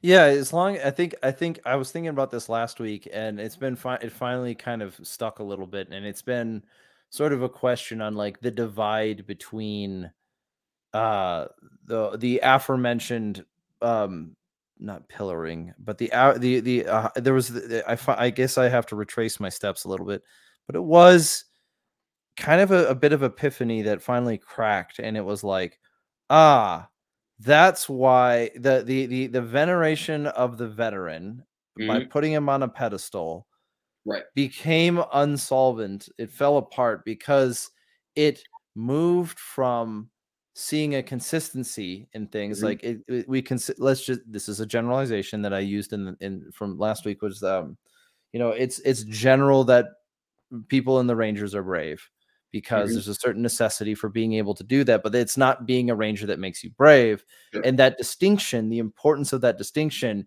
is now leveled back onto gun culture as a whole where it's not really your background that Right. gives you value here it's your character Sure. And that's such a maturing great description or, or, or, movement and i think that i mean you had a part to play in that. Again i'm mm-hmm. saying you influenced me so i hope i hope i'm not being too much of a you know over the top on that one but then also how it goes with it, it, how it goes with like just how we look at things as, as, as, as our culture is like we have virtues. I need to focus on those virtues not on this shortcut to assuming virtue which Right. might be experience or something like that Sure. I, I do appreciate that Well, I think it's a definite shift that we're seeing um, in the last few years is that it's more and more acceptable. You don't have to be a veteran um, or active military to have a place in this space or to even be taken seriously or, you know, um, when it comes to even certain aspects of training or just as a owning a company or, or putting out a good product um, or just the everyday person who's who's getting geared up and, and seeking actual training and taking that time to better themselves both on and off the range um, that's something that for a long time i think in this space was you were kind of looked down upon but now you're you're almost seeing a shift in focus towards the everyday civilian um, because i think that a lot of people are waking up to the fact that it is important to maintain these rights and own these and own these tools um, and it is important to have a certain level of training um, and know how around these these types of tools so you can use them accurately and swiftly if need be. Um, and even I'm seeing it with a lot of military, ex-military, I should say, or sometimes active military uh, who are doing in a training, working in a training capacity. A lot of them are shifting their gears to away from doing contract work with various units and shifting their gears to mainly focus on the civilian sector. And I think that's a huge change uh, in the culture and kind of a sign of the times because it's uh, it's it's very rewarding to work with everyday people who don't know a lot about something and at the end of a course or at the end of a few days of training with them or some ongoing uh, training they start to evolve themselves and come out very much ready to be their first responder um, and do you that's think oh. go ahead, go ahead. I, I interrupted you. I thought you were pausing. I'm, I'm go ahead. I'm, I'm paused. do you think there's a danger? Do you think that? I guess asking the question is wrong. Do, how much of a danger do you think there is of an inversion instead of it going from a, a, a balancing to an inversion where now the veteran is sort of uh, looked down on? Do you think that? And I'm not talking about like skill set. I mean like that gun culture kind of becomes almost like the opposite of what it was. Like now being a veteran is a detractor. Do you think there's a danger of that? Because I've seen elements of it pop up. I mean, like, I think that would solely depend on on an individual case to case basis and how they conduct okay. themselves in the space.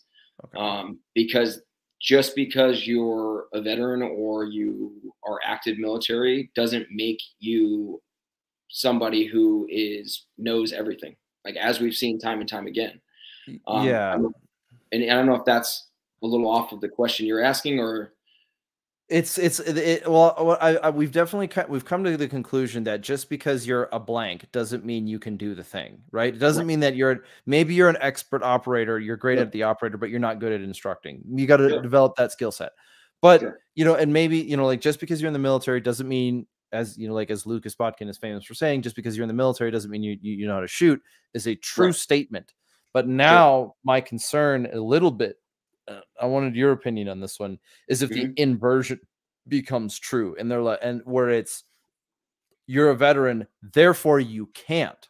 Instead, we gave prop we ascribed properties to people who were of the veteran that were considered positive. Now I I'm I, I'm kind of concerned of like the pendulum swinging so far that you have and part of this i am a veteran as well so like there's a sure. certain personal nature to it but like i've almost seen elements pop up in in kind of like budding little plants on the ground or uh you know kind of like a odd odd bit of resentment uh towards the veteran resentment held towards the person who has done the job professionally and so they're artificially excluded from existing in uh, you know grand scheme of things almost like oh well you're a veteran so you're necessarily a bad and it's like ooh i don't like I mean, that either i think that's going to be again it's going to be on an individual basis yes. from the person who's casting those judgments um, because you know you're going to have a lot of people who disagree with us foreign policy disagree with wars of the last 20 years or war in general mm-hmm. Um, so of course you're going to have pushback from certain people because that's what they believe. They they want something more peaceful and they reject um, the United States military or whatever for for their own reasons. Um, from a training capacity side of things, I think not because if you're if you're taking your training seriously, there's really no substitute for real world experience. Um, so if you're someone who wants to seek proper training out, like yes, could somebody who is a grandmaster uh, competition shooter grab someone and take them never never did any service or anything just you know played world of warcraft and shot pistols um, could they train somebody on how to become a fast accurate pistol shooter? Absolutely. Like that is the person that you want to go to for those skills because mm-hmm. they know it better than anybody else and they've proven that. But on the same token if you want to learn tactics if you want to learn cqb if you want to learn things that professional killers, for lack of better terminology, can teach. Only they can teach that because they've had that real world experience. I, I should let me let me retract that. Only they can teach that to the level that um, would no one else can really match that in my opinion because if you've not been in those situations where you've actually been shot at and you've actually had those real world experiences then in my opinion uh, you're going to be able to offer something that others cannot I, I think it's a it's a it's a wary it's a not weary it's a wary topic to traver- traverse yeah. and I'm and I'm I'm I am optimistic by the way that gun culture as a whole is trying to address it because right. we're we're we're this is where me I get to be a philosopher again we are making distinctions. Yeah experienced versus a job S- character qualities versus a skill set right. courage versus strength. You know like we're seeing these distinctions pop up and then we're trying to figure out the relationships between them and i think that's encouraging. Sure. I i, I find that very encouraging and and some of it is very much so that's what i'm interested in. So uh, to mm-hmm. a hammer everything's a nail i get it. Sure. So before we completely close off yep. um when it comes to your projects that you have going on is there anything that ah, i think of it's actually spring here where i live so a bug just existed um, it's almost there here. Yeah, yeah. Well, back where I back in Minnesota, it's still it's still midwinter. Oh yeah. Um, it's not it's not even midwinter. It's like early midwinter. Um, it's the dread month. Mo- Feb- February is the dread month, but uh, the end of January into February. But fine. Um, what's new? Is there uh, is there uh, is there anything that's like that you're capable and willing to talk about that people should be looking for as far as coming out from you guys? Whether it's, you know, you've got multiple things, irons in the fire. I know I wanted to give you some time to like kind of I want to make sure that's there. I want to make sure that that, that yeah, that's present. Appreciate it. And you, you mean as far as uh, you cut out briefly, so I'm assuming you mean as part of product development, things like that, new things we have going on product program projects things that are going in that things that, that are inside your company that you find exciting things that yeah. are outside that you find that you find interesting like what's a book you've read lately or or you know yeah. any just go i want you to like this is something not necessarily dad advice but like this has been good i like this freestyling um mm-hmm. so as far as com- the company goes um like i mentioned before we are working on a new building uh-huh. um which is very exciting because we have reached our capacity over a year ago of our current space and things are literally on top of each other and everyone's working nuts to butts um, but uh, it's uh, it's going to be a huge improvement and we're going to be able to change up the flow of how we do things to be able to crank out the products even faster and more efficiently and more effectively than we have even been able to up to this point. Um, and because of that, it's going to open up a lot of space uh, and time to work on other aspects of the business.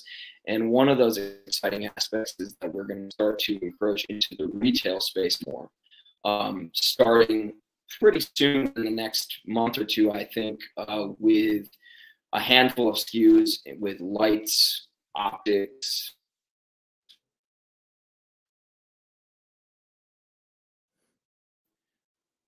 know, currently using, and uh, and that we're selling. So that's something that we're really very much looking forward to. Um, and then the other thing too is that we have you've probably seen the snake staff uh, everyday carry tourniquets. Have you seen those?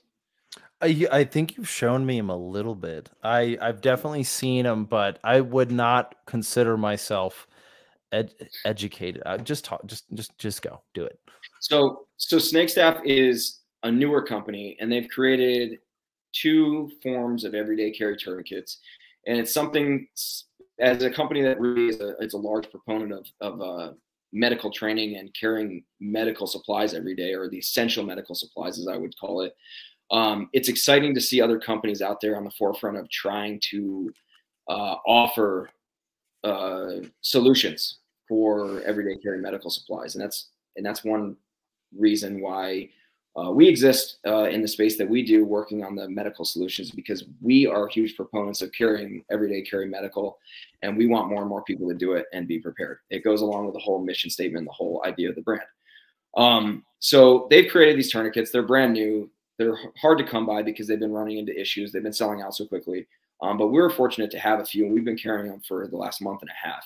And it's definitely not an endorsement to go out and say go buy these tourniquets because they are a new product uh, they are not uh, TCCC approved as of yet. Um, I think they're working actively on getting the approval and the thumbs up from that committee for the their wide version.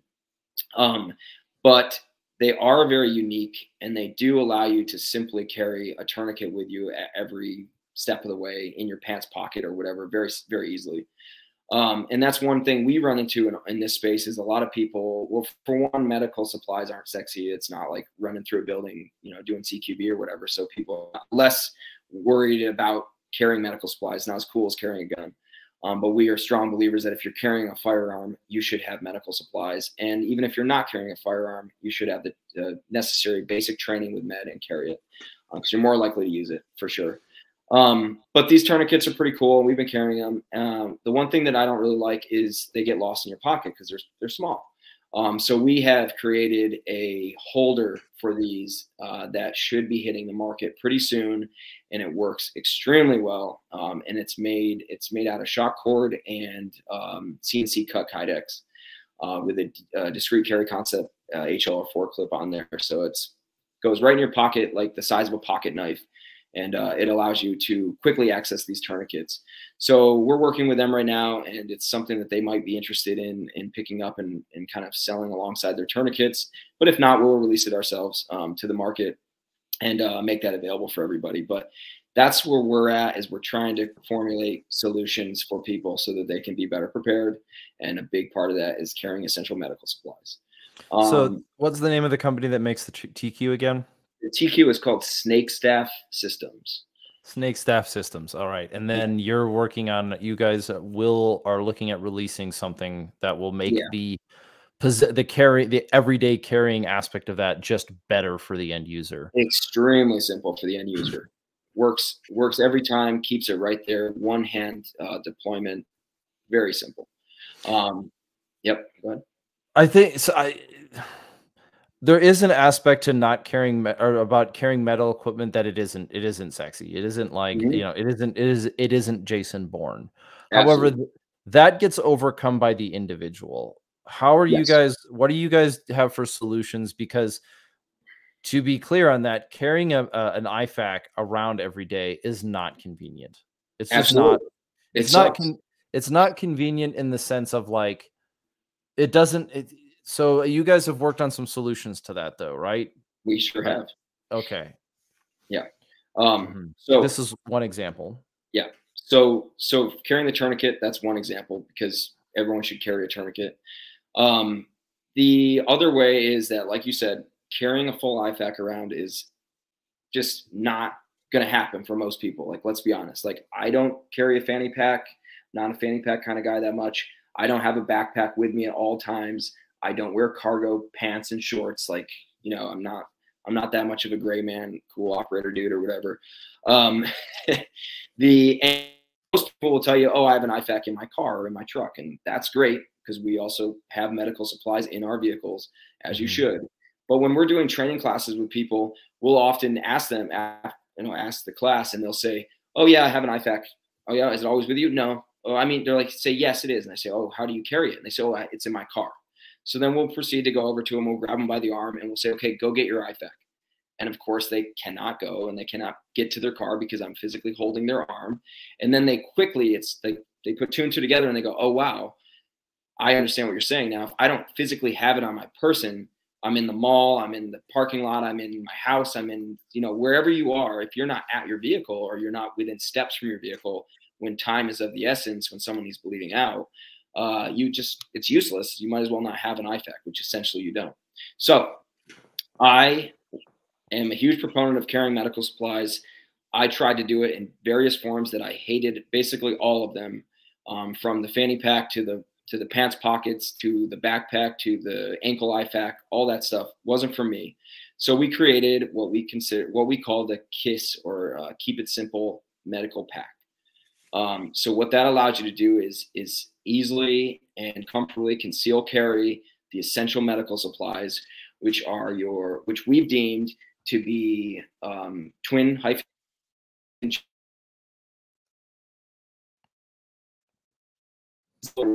any tourniquet of your choice that's a good tourniquet to carry. I wouldn't carry a rat tourniquet.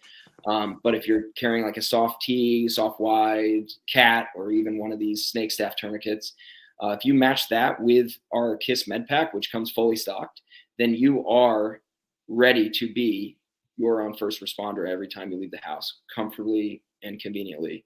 Uh, you can carry those supplies. Okay, so this is again where technical difficulties might have gotten in our way or they might have not, and I don't want to risk it. So, can you list the items that you think are necessary one more time? Sure. Yeah, so we have deemed for essential uh, everyday carry medical supplies to be twin HyFin chest seals, uh, Z fold uh, military combat gauze um, with the with the uh, X-ray ribbon, uh, and the roll gloves. So if you match that with any approved tourniquet um, or tourniquet that you see fit to carry. If you have those things on your person every day, then you are ready to be your own first responder every time you leave the house. Yeah, so the military combat gauze, gauze you said with the X-ray ribbon. I mean, I'm I'm actually not familiar with that. I should be, but I'm not. It's just it has a ribbon in it, so when it goes through an X-ray machine, they know it's in you. Yeah. So what happens is uh, there's there's a LEO uh, grade gauze and there's like EMT grade gauze. Um, those two, for whatever reason, they don't have the X-ray ribbon. So we use the military combat gauze, which is the green package, which you'll often see, and that has an X-ray readable ribbon throughout the whole Z fold of the gauze. That then, when you are at the next level of care at the hospital, um, when you're getting that X-ray of where the wound's been packed, they know that they've gotten everything out um, when they move it to to clean and flush and, and take care of the wound. Okay. Yeah, and then there is a. Have you ever run into issues with people with like shellfish injuries because you can't do the you can't do all the QuikClot stuff? So QuikClot doesn't have that impregnated in it. Um, okay. It's it's uh there's a different type of agent um, that is is impregnated in QuikClot.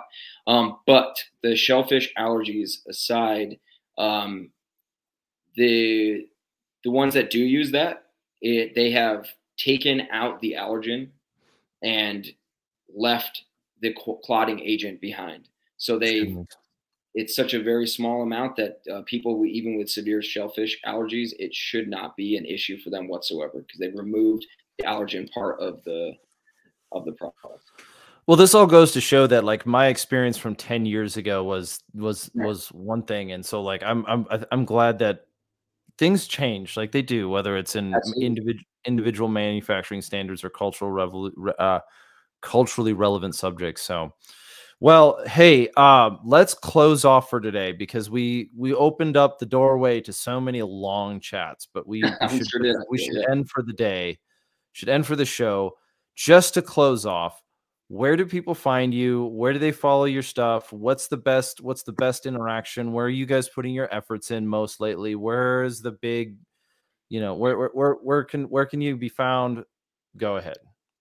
Well, I'll before I say that, I noticed that you named the the show Jack Potter of Guerrilla Tactical, which makes perfect sense. And I want to commend you on spelling gorilla properly because most people either spell it with one R or one L. So props for that. Um, we are most prevalent on social media, um, for better or for worse. Um, Instagram is where you're going to find the bulk of our media and and most of our messaging and all the products that we offer there are showcased through our Instagram page. Uh, Instagram is Guerrilla G U E R R I L L A underscore tactical. Um, that's going to be our main page, uh, and there's link. There's a link tree in the bio with our website and Twitter and Facebook and all the other stuff too. YouTube channel, um, but that's where the bulk of our media is going to be. Um, so if you want to hit us up there, there's an email tab as well that you can email us. We're very responsive. We're very quick to get back to you. And we try our best to respond to everybody who sends us a message on Instagram as well. So if you DM us there, we, we try our best to get back to you in a timely fashion. Um, and that doesn't even have to be about Guerrilla Tactical or about a product that we offer. We are here to be accessible for the people. And if you have questions, concerns, um, life advice, whatever, we're going to do our best to help you out because we want to see you succeed. Uh, and we understand that without all of you, we would not be where we are today. So that never goes forgotten for even a single day. So we're here for that. I spelled it correctly because I've misspelled it incorrectly. There you go. Well, at least, you're, at least you're you're a good speller today and an honest man. So well, that. at least you know I'm the speller. The honest man is always going to be in question. You know, never trust the man never never trust the man on the other side of the screen is not a good. I don't know. It's supposed to be funny, but hey, this uh it's Jack, it has been great to have you on. I've been wanting to have another long form conversation with you for a while. When I say another, we've never had one on camera before. Yep. Um part of it is um you were the first guy who believed in the redacted project and you were the first guy to jump on it and it's like, ah, thanks, dude. Th- there is a there is a bit of like I've been looking forward to having this conversation for a while. So thank you very much uh, thank you very much for for coming on and taking the time to have this conversation with us. So, yeah, I you know I appreciate it. I really do. Now, for those who are still listening to the show, we do appreciate uh, if you, you, do the social things, you leave the likes, make the comments. If you want to ha- start a turf war in the comment section on YouTube, apparently that's what other people do. Whatever. Uh, but we do thank you for your time. Thank you for listening to the show. As I said earlier, the Skateboard decks are coming out soon. If you are listening to this when it is releasing, this will be like end of February 2023. Uh, end of February, beginning of March of 2023. The proceeds go to the to the Firearm Policy Coalition, or if anything changes between now and delivery, whoever we whoever is best combating the the brace ruling. But right now, it's the Firearms Policy Coalition. They're building the fund. They're building the chest to do that. Uh, that's the skateboard decks. It, it has on the front. It's the only one we're releasing this year. And it says on the bottom, uh, "Human privacy is not your property." A argument against the government saying that they want to own you by owning your information. Other than that, for us as we move forward, um, we have presented it at the beginning, but we are opening up a SubscribeStar. The operation season one, operation two is a go. Postcards will be hitting the mailbox soon. If you've not purchased something from our merch store, I don't have your address. I have nothing to mail it to. If you also want to support the show, we do appreciate your time.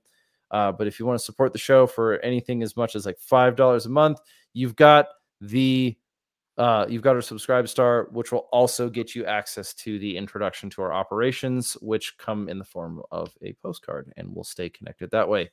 Other than that, this has been the Redacted Culture Cast. Thank you very much, and we will see you guys soon. Take care.